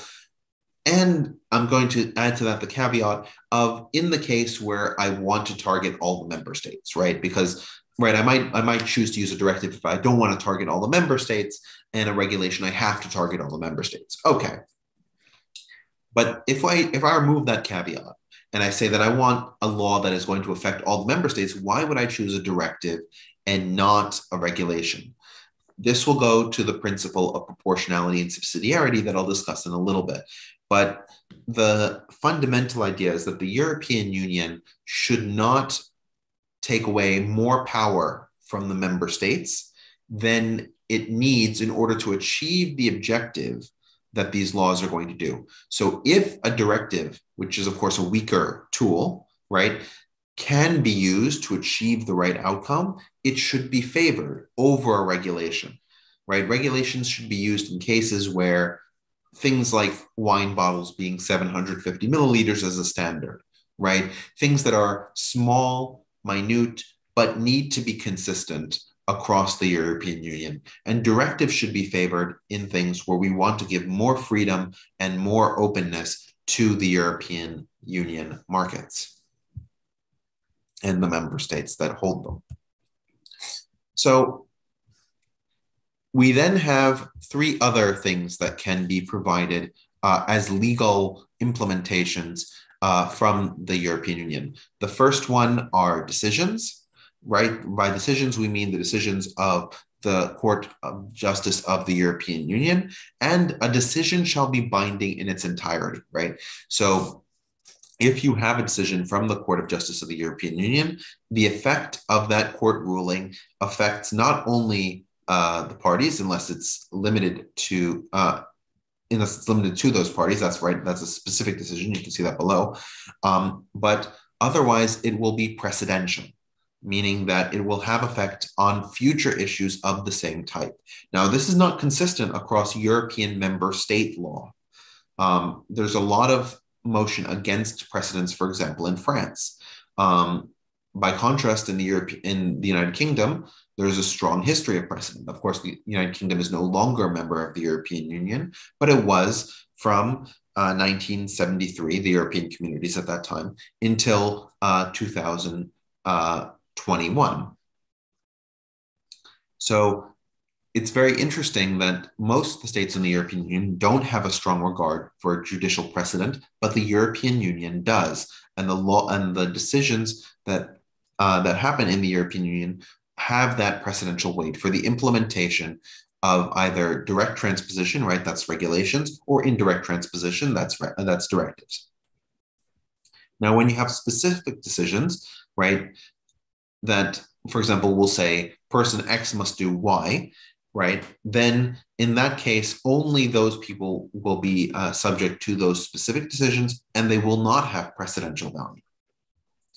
Finally, um, the European Union can provide recommendations and advisory opinions. These are primarily from the Court of Justice of the European Union.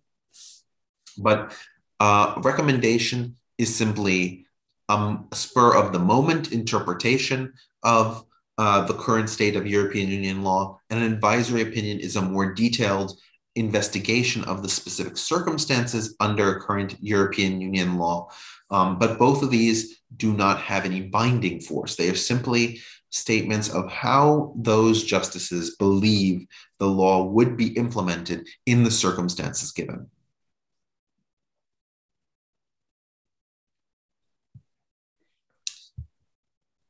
Quick, so uh, a, a, quick point here, uh, uh, yeah. Richard. If you don't mind clicking on the link I just put in there uh, a few minutes ago, great charts on laws regs.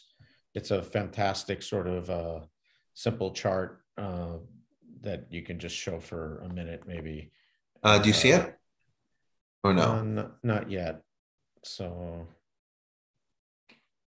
maybe you only shared that. Yeah, yeah. Not your whole. There you go. Um, and if you scroll down, you'll see uh, uh, Mr. Uh, Toshkov uh, put this great breakdown of everything we just talked about uh, since 1970 directives, regulations, decisions. You know, and if you keep going, you can see all the rest of it. Uh, you know, which is uh, great because uh, it shows all the different, uh, you know, uh, parties, whether the council, the commission, and then what's amending and new.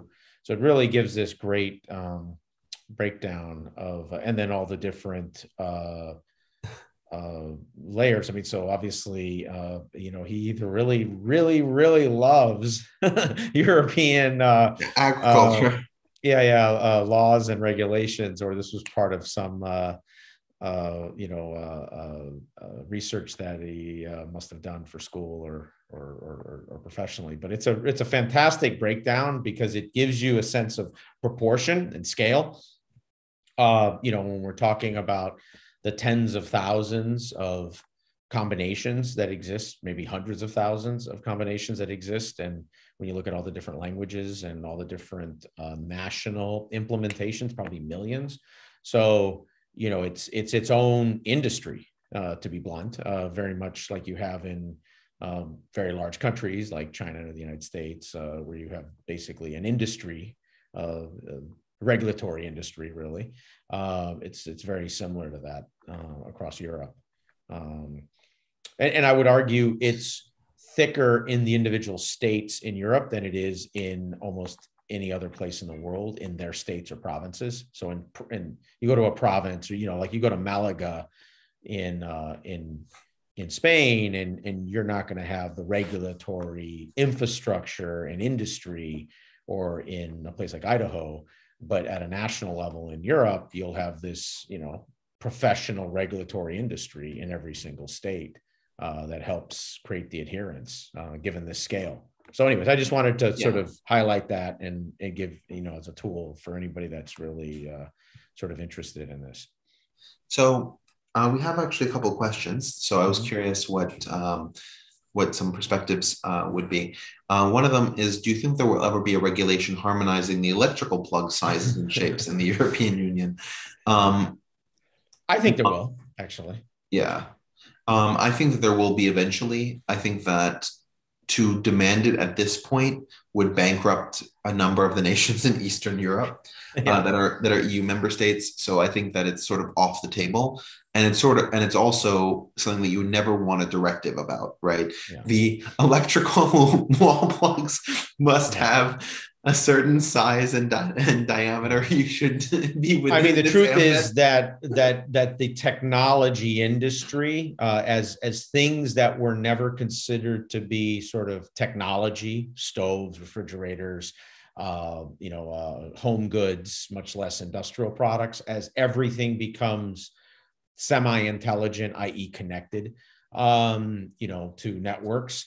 I think a lot of this over the next one to two decades gets sorted out because the standardization of the industrialization of the next era of industrialization is called it's called industry 4.0 as that happens uh, i think the standardization just becomes universal uh, in many ways everywhere actually. So i think some of those things just sort themselves out yeah and i, th- I think that if there is harmonization it will be along um, the model of the german plug right which is the which is the two large holes um, and not having the grounding plug come out but be attached on the sides um, but I, but I think that we're sort of a, a way off from that. Yeah.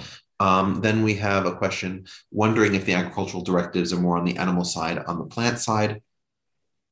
Well, it's exactly like it is in the United States, where one to two percent of uh, subsidies are uh, for, let's say, plant-based centric um, diets and or production. So basically, the plant industry is on the market, and then the non-plant industries, uh, you know, are are subsidized between marginal level 5 10 15% to extreme subsidies you know 30 50 60% i think europe has a challenge there just fundamentally because you have so many uh, disharmonious agricultural regions and uh, inputs that any construct of a common agricultural policy, you know, will will be decades after there's a European integration of states. I mean, it is just it is 50 to 100 years off because now you're looking at. Oh, go ahead. Sorry.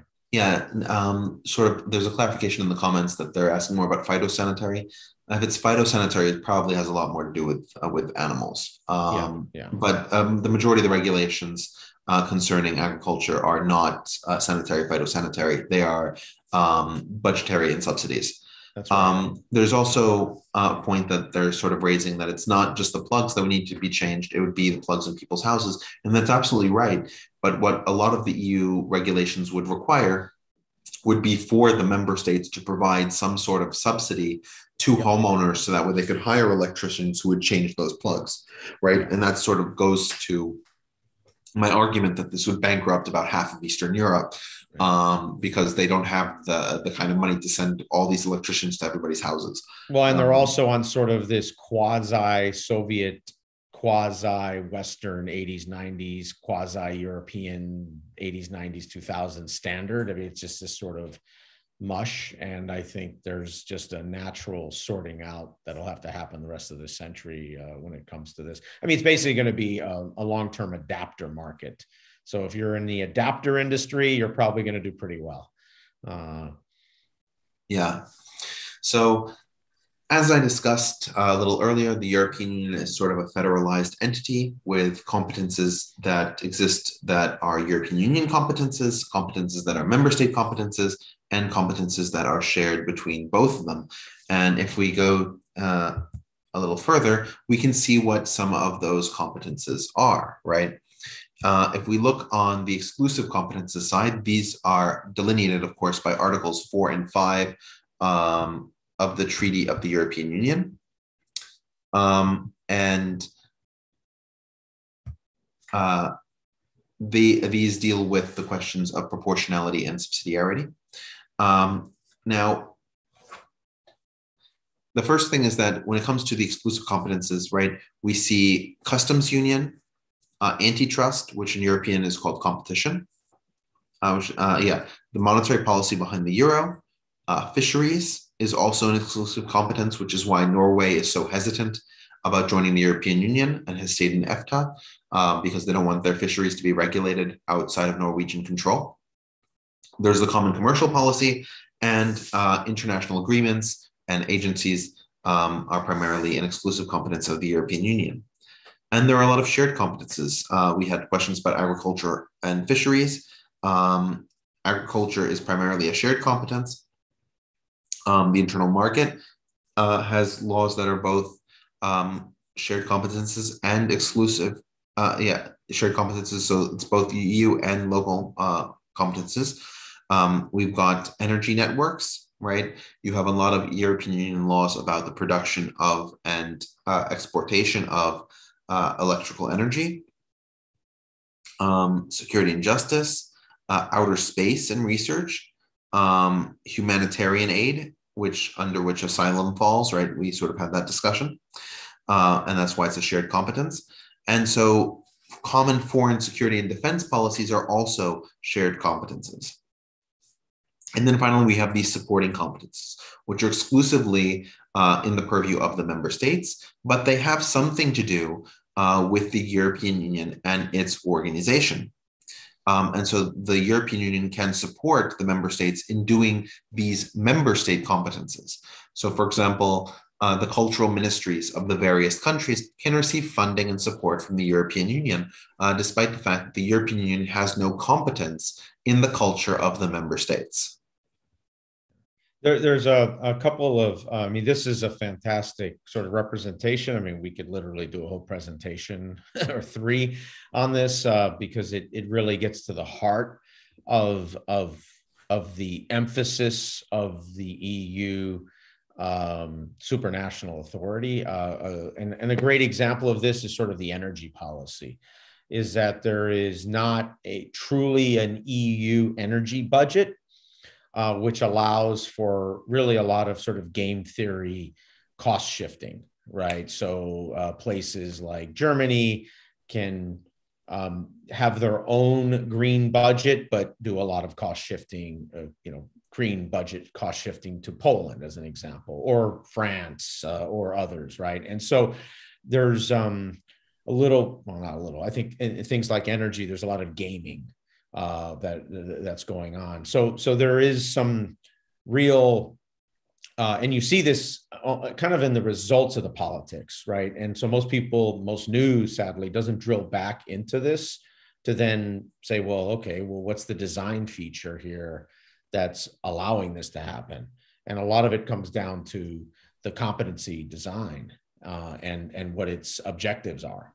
Um, you know, so so anyways, I think that that and that was sort of an, an example of of one of those, I think. And the same with education, right? So the whole reconstitution of the of the Erasmus system, which in a weird way was sort of sort of like energy, where uh, a lot of um, Europeans were going to school, university, unis in in England uh, and in the UK uh, because uh, the UK has a fairly developed uh, university system, sort of like the University of California, really, uh, and many other states um, haven't developed that same sort of system where a big chunk of the population, maybe a third, could you know could eventually attend, and so they have to reconstitute that, obviously. Um, and, and and that's putting a lot of pressure, to be honest, on education budgets across uh, higher education budgets across the EU, uh, because you had you know hundreds of thousands of students, um, you know, you know in the UK, maybe half a million in the UK or more. So, um, you know, it would almost be the equivalent. Imagine the UC system shutting off access, uh, the whole California higher ed system shutting off access to anyone outside of California. That would put a lot of pressure on a lot of states in the US to actually have to up their state education game, basically. Um, yeah. So, one of the things that I sort of wanted to drill down here is these principles of proportionality and subsidiarity. And so, proportionality is the idea that the law should be narrowly created to the aim for which it is uh, intended, right?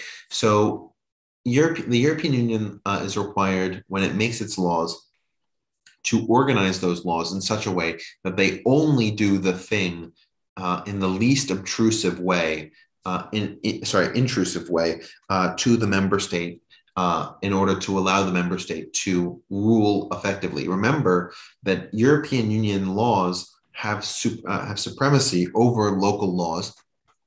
Uh, regardless of whether they are regulations or directives, right? Directives are just not are direct are just not directly transposed into national law; they're indirectly transposed. But in both cases, you have power over the nation state laws, and so the Treaty of the European Union makes clear that those should only uh, be used to the extent necessary to achieve whatever the aim of the European Union is, and not for any ancillary goals. That's proportionality. The next requirement, which is brought up in Article 5, is subsidiarity.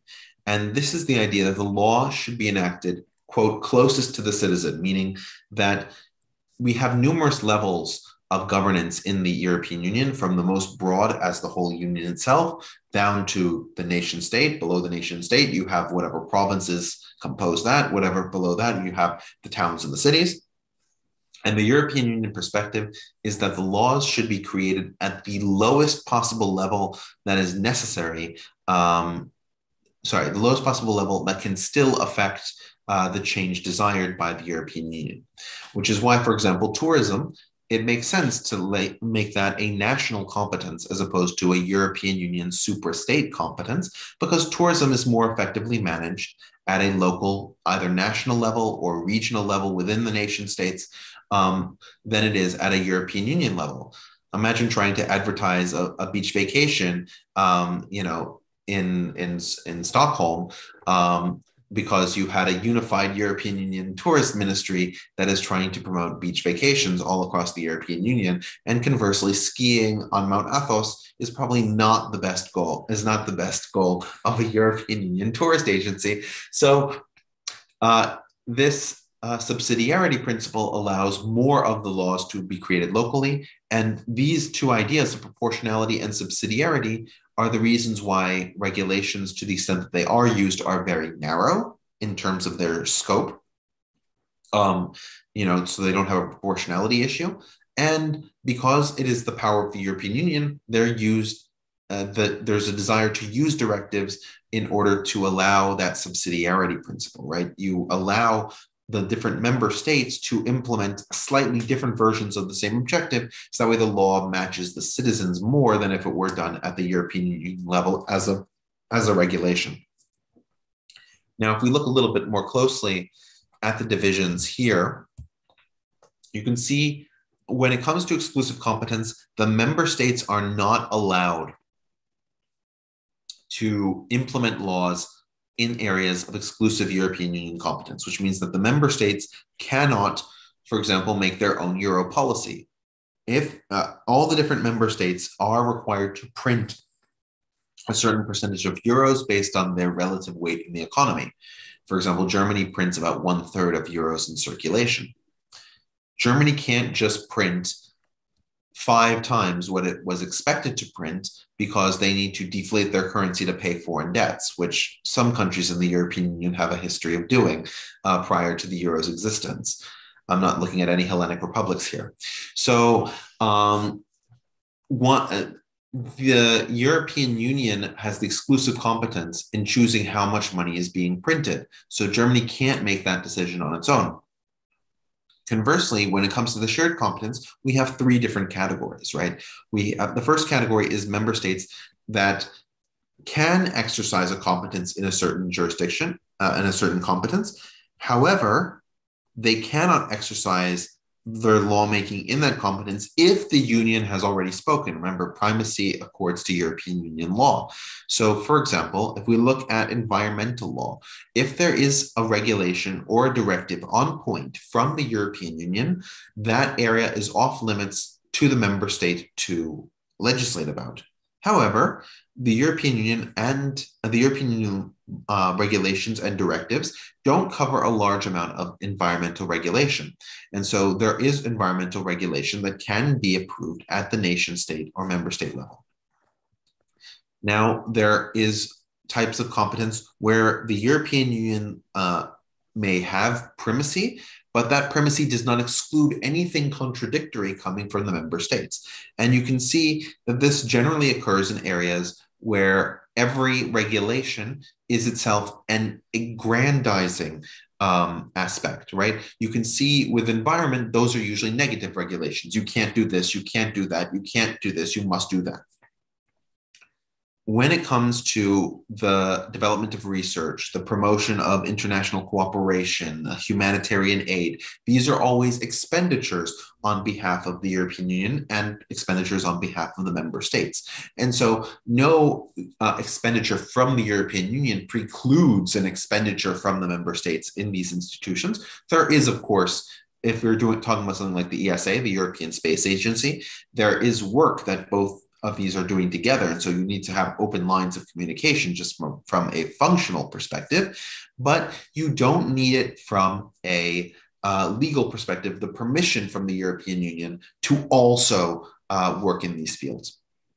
And finally, um, the European Union helps to implement common policies with regards to foreign security defense issues um, that while they are typically not competencies granted to the European Union, the European Union fi- provides a forum for creating those common policies. And that's, for example, where we're seeing some of the issues concerning how the European Union will respond to direct threats. Um, we have. And, and, oh, go ahead. And, and yeah, I think one uh, one thing that's important is that in the last few weeks, the ruling on the infringement procedure uh, with Poland, where basically the um, the Polish government has obviously and was sort of uh, obvious that it was going to accept it.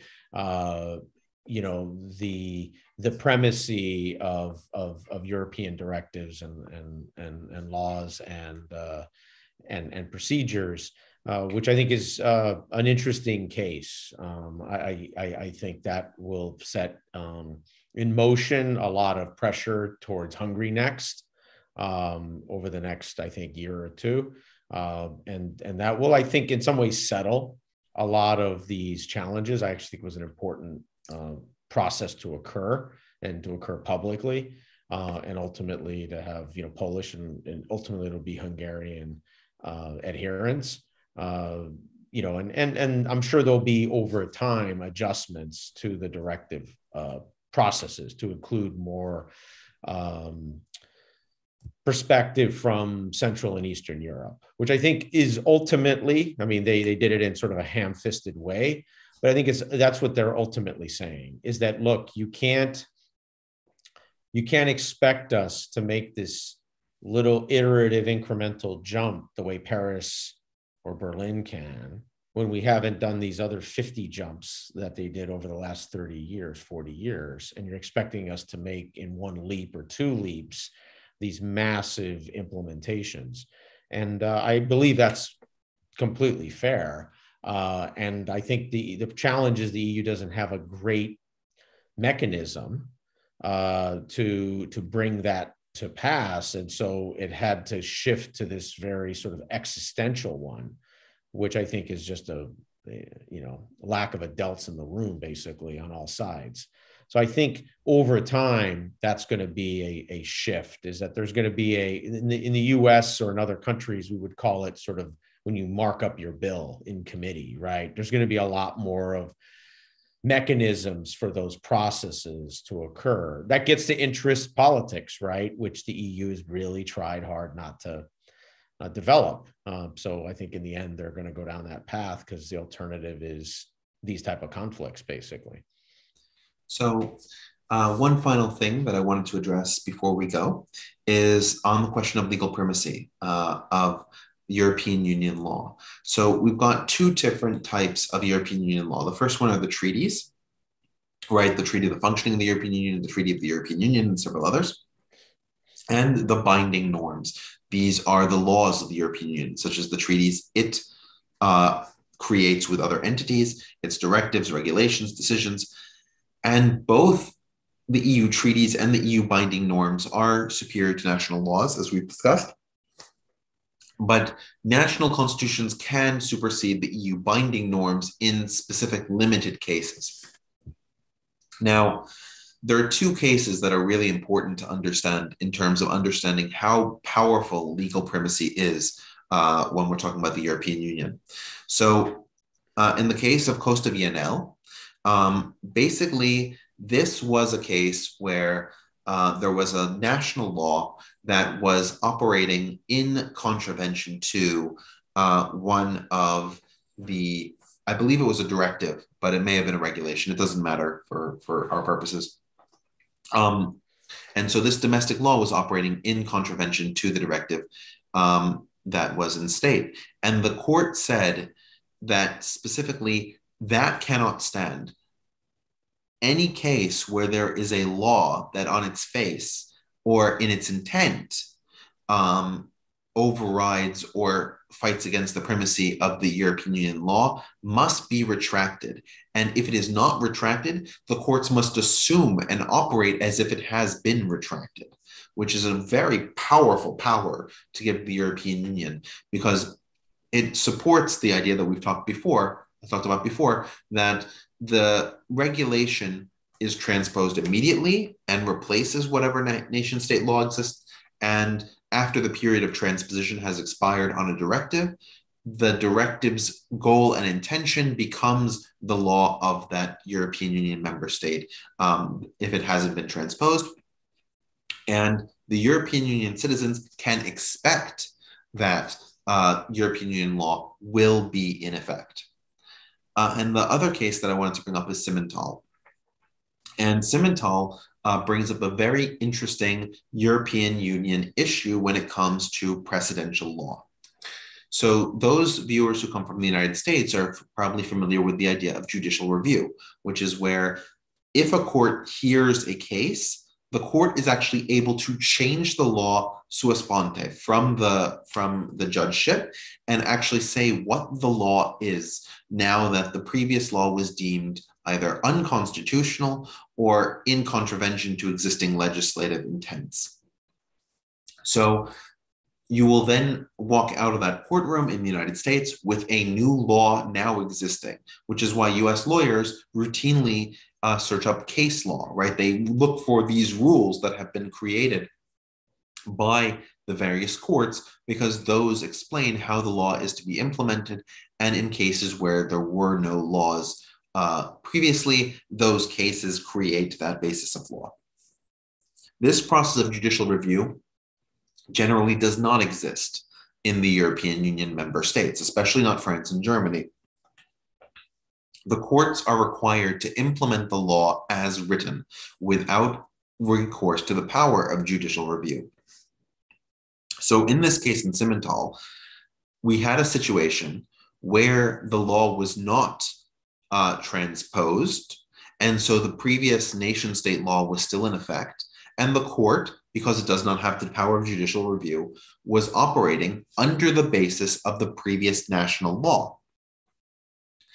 The judgment in Simmental says no, you courts in the European member states have the requirement to rule as if the law were transposed and you do not have the authority to wait until the legislature remedies this issue, which is what they would typically do with their national domestic laws.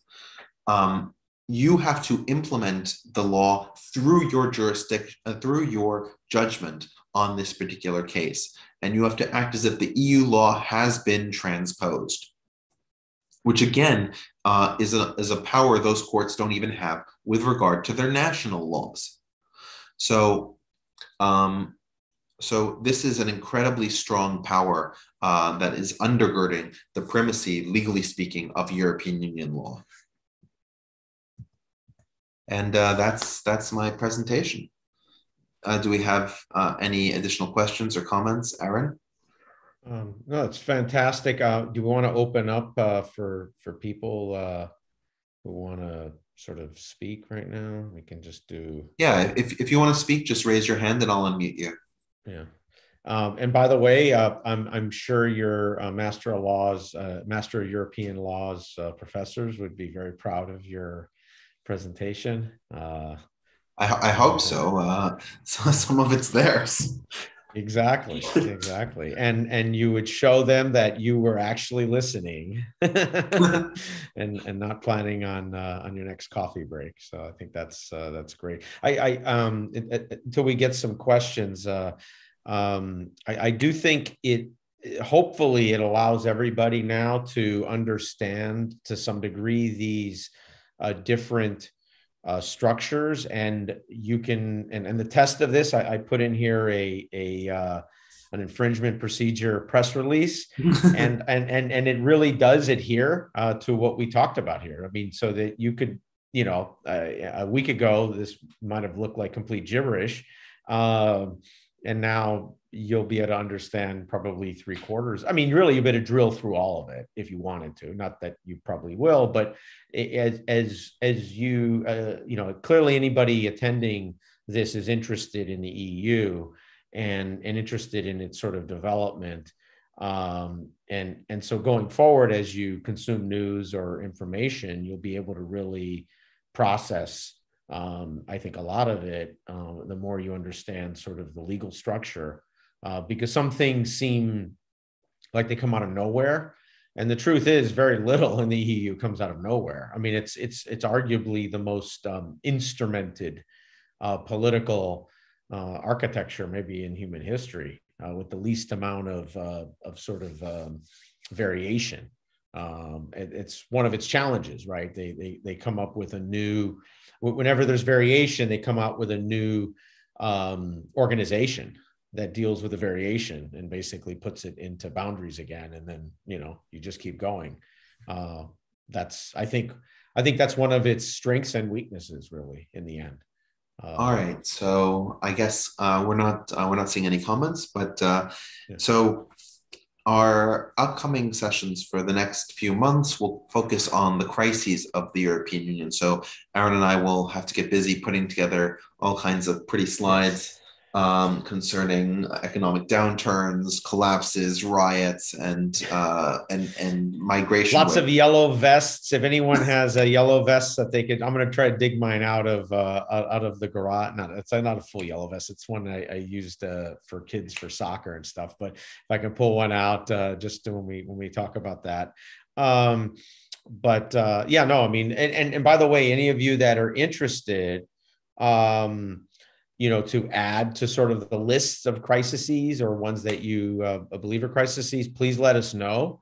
Uh, put it in the comments here or in the comments in the in the meetup, uh, and we'll try to add those because we really want to make this uh, sort of. Uh, yeah, there's a question of can we uh, watch previous uh, videos of the presentations? You absolutely can. Yes. I'm going to put a link to. we we would love to have more airtime and more space in your heads.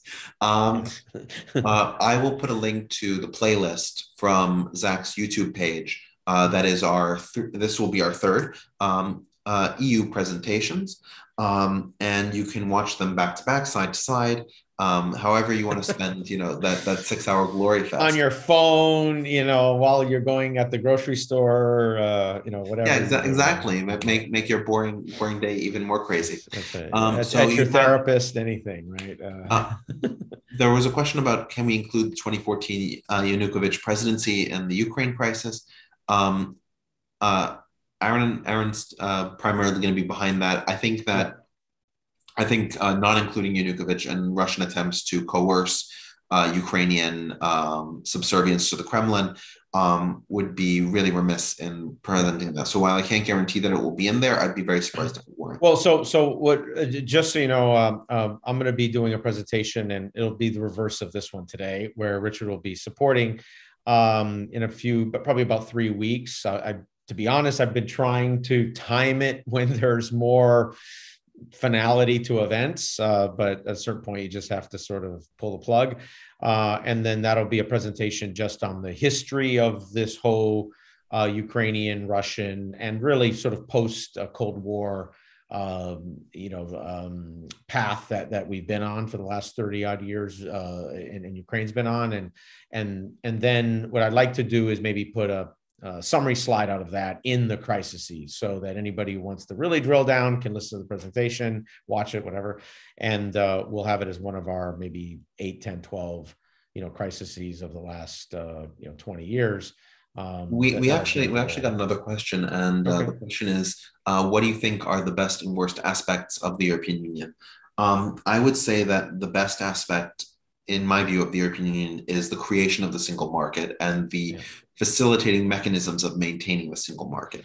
Um, that has raised the European economy very, very much uh, in terms of its financial ability, the ability of European industry to unify, um, the creation of large scale sales, the free movement of people. Um, by, by doing this has really accelerated Europe's development uh, in the post World War II economy and has effectively prevented uh, war by so uh, thoroughly enmeshing uh, the economies of the European member states. So that to me, the creation of the single market and the enforcement mechanisms that keep the single market working, I think that's the greatest um, positive of the European Union in terms of its negative, um, I would say the biggest negative of the European Union um, is primarily that um, you have a lack of democracy and a lack of transparency. And so that means that people don't trust European Union institutions. They don't trust um, what the European Union represents. And given the power of these directives and uh, regulations,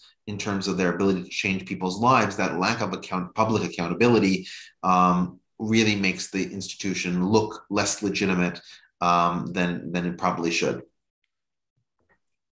And and and I, everything Richard said, uh, what I call kind of the EU 1.0.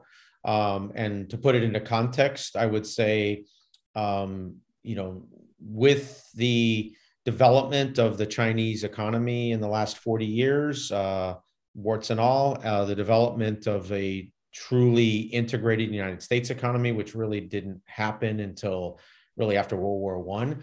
Uh, the development of the European, of the EU 1.0 is uh, one of the three greatest uh, market-making events in human history.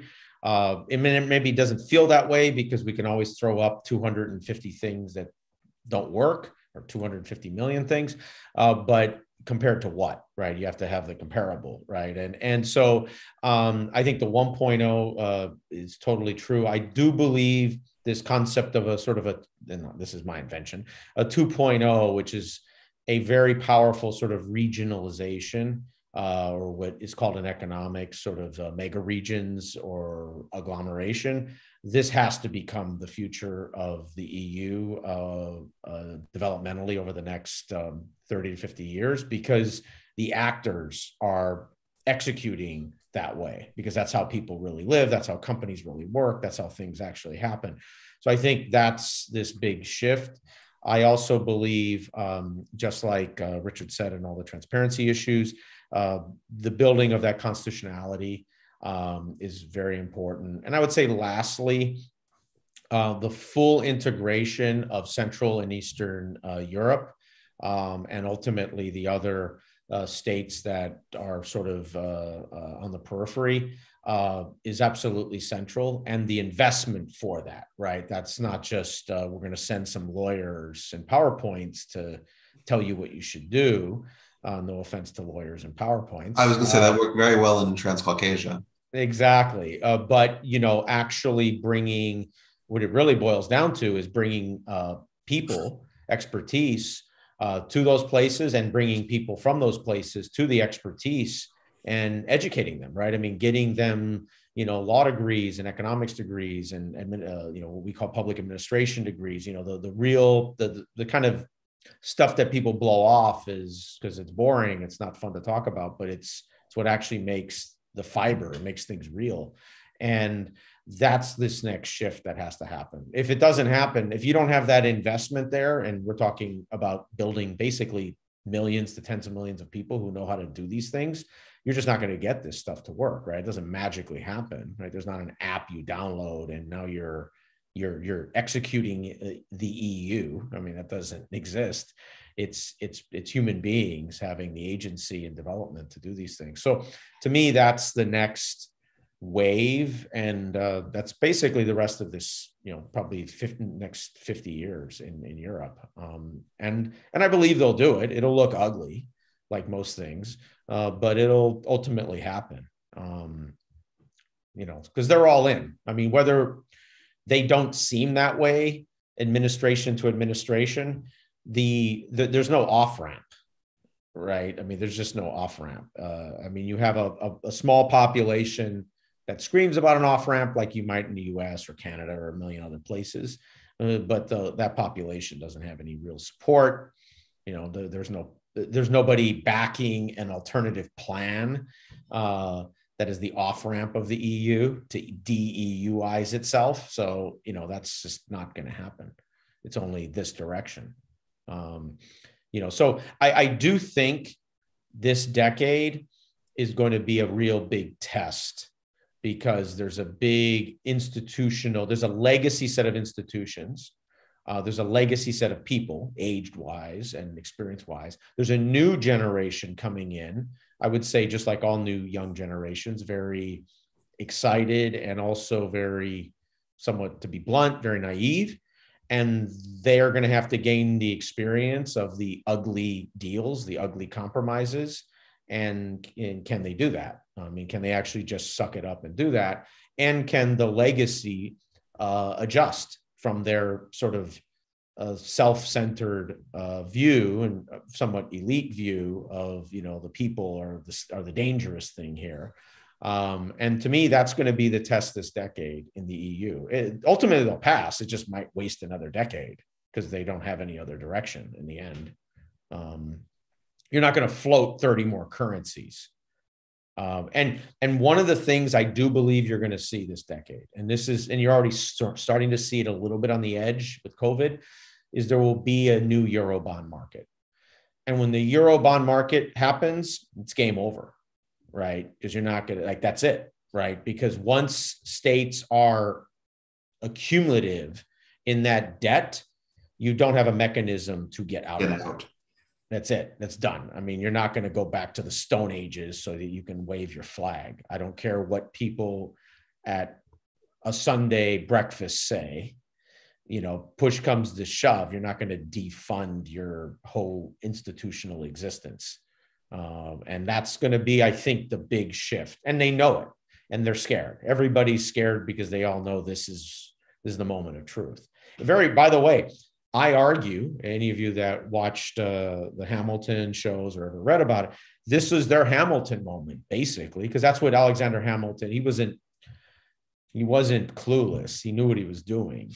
He understood if you could lock, interlock that debt, a national bank, et cetera, um, you sort of lock in the union itself. And I believe this will be their Hamiltonian moment.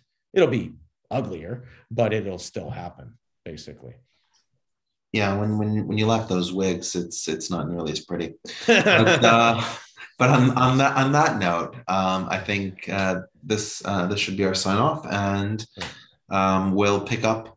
I believe our next date is on the 13th of March.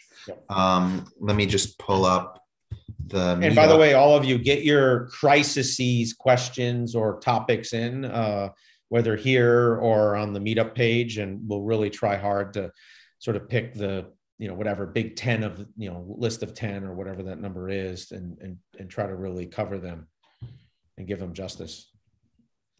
Yeah so i'm just gonna get the link for our next session and put it um Oh, by the way, did you did you put the the link to the YouTube videos in here also? No, I was gonna I was gonna put those in the actual meetup page. Okay. Um, but there may be people here um, who don't uh, or who are not members of the of the group. Page. So let's yeah, yeah, yeah, so let's put that in there. And and Zach, um, do you you have the link on YouTube to the meetup group, don't you? Because we should have that in the show details just so everybody can come back from meetup to YouTube and vice versa so that everybody can kind of go both directions as they refer people. I was gonna say we, we, we might have to add that at some later point. Yeah. But I think it's going to be Sunday, uh, the 13th of March. Okay. Great. Yeah. Oh, and by the way, there's a, a few. Uh, what I'll do is I'll add it here and then try to do it in uh, a few other places. There's a, a bunch of fantastic um, uh, EU sort of news content uh, that's out there. Uh, you know, basically their ver. I don't say their version, but versions of sort of like the BBC, but from an EU perspective. Uh, you know, and, and sites that are sort of roaming out there throughout Europe that I think are pretty good. I mean, they they they either are light on opinion but heavy on sort of um, volume of you know sort of European news. Uh, so so they'll have you know 30, 50, 100 categories uh, curated, but that's it. So it's kind of raw. Um, or they'll be heavier on opinion um, and and detail and and and sort of topic. Uh, well, I'll try to include as many of those as I, I put one in here uh, that I, I, it's one of the five or ten I like actually. It's um, you just sort of cherry pick the opinion stuff, which I don't tend to focus on anyways, but they they they load you up with sort of Euro news, uh, and there actually is Euronews, so that's a good one too on YouTube. And then France 24 and Deutsche Welle DW uh, is really good also. So you know both website and YouTube. So most of these news sites now have a, a, YouTube channel and they also have a mainline traditional sort of website or app that you can download. Um, and you can get all your EU, European news fixes you want. Um, so um, I put in the uh, in the meetup chat if you want to download it. This is the Zoom link for 2 p.m. Eastern time on the 13th of March. Um, that is going to be our next European Union presentation, um, where we start to talk about the crises uh, after just doing a quick summation of what we've covered in these past uh, three uh, discussions, where we've gone through the history, institutions, and uh, legal structure of the European Union.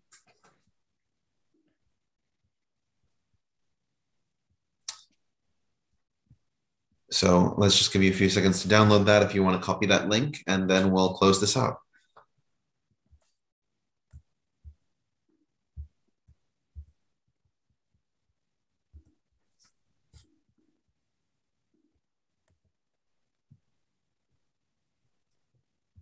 All right.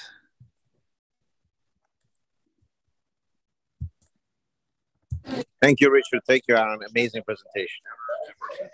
Well, thank you, Zach, right. for putting the the whole thing together in terms of uh, uh, Jennifer. I'm going to put a link. It, it, do you have a link to the actual original meetup page?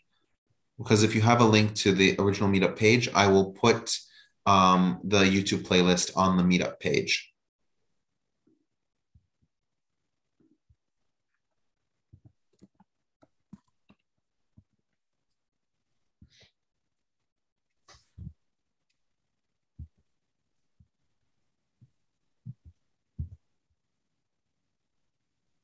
All right. So um, that's it, I guess. All right. Yeah. And then and then uh, we'll make sure we put these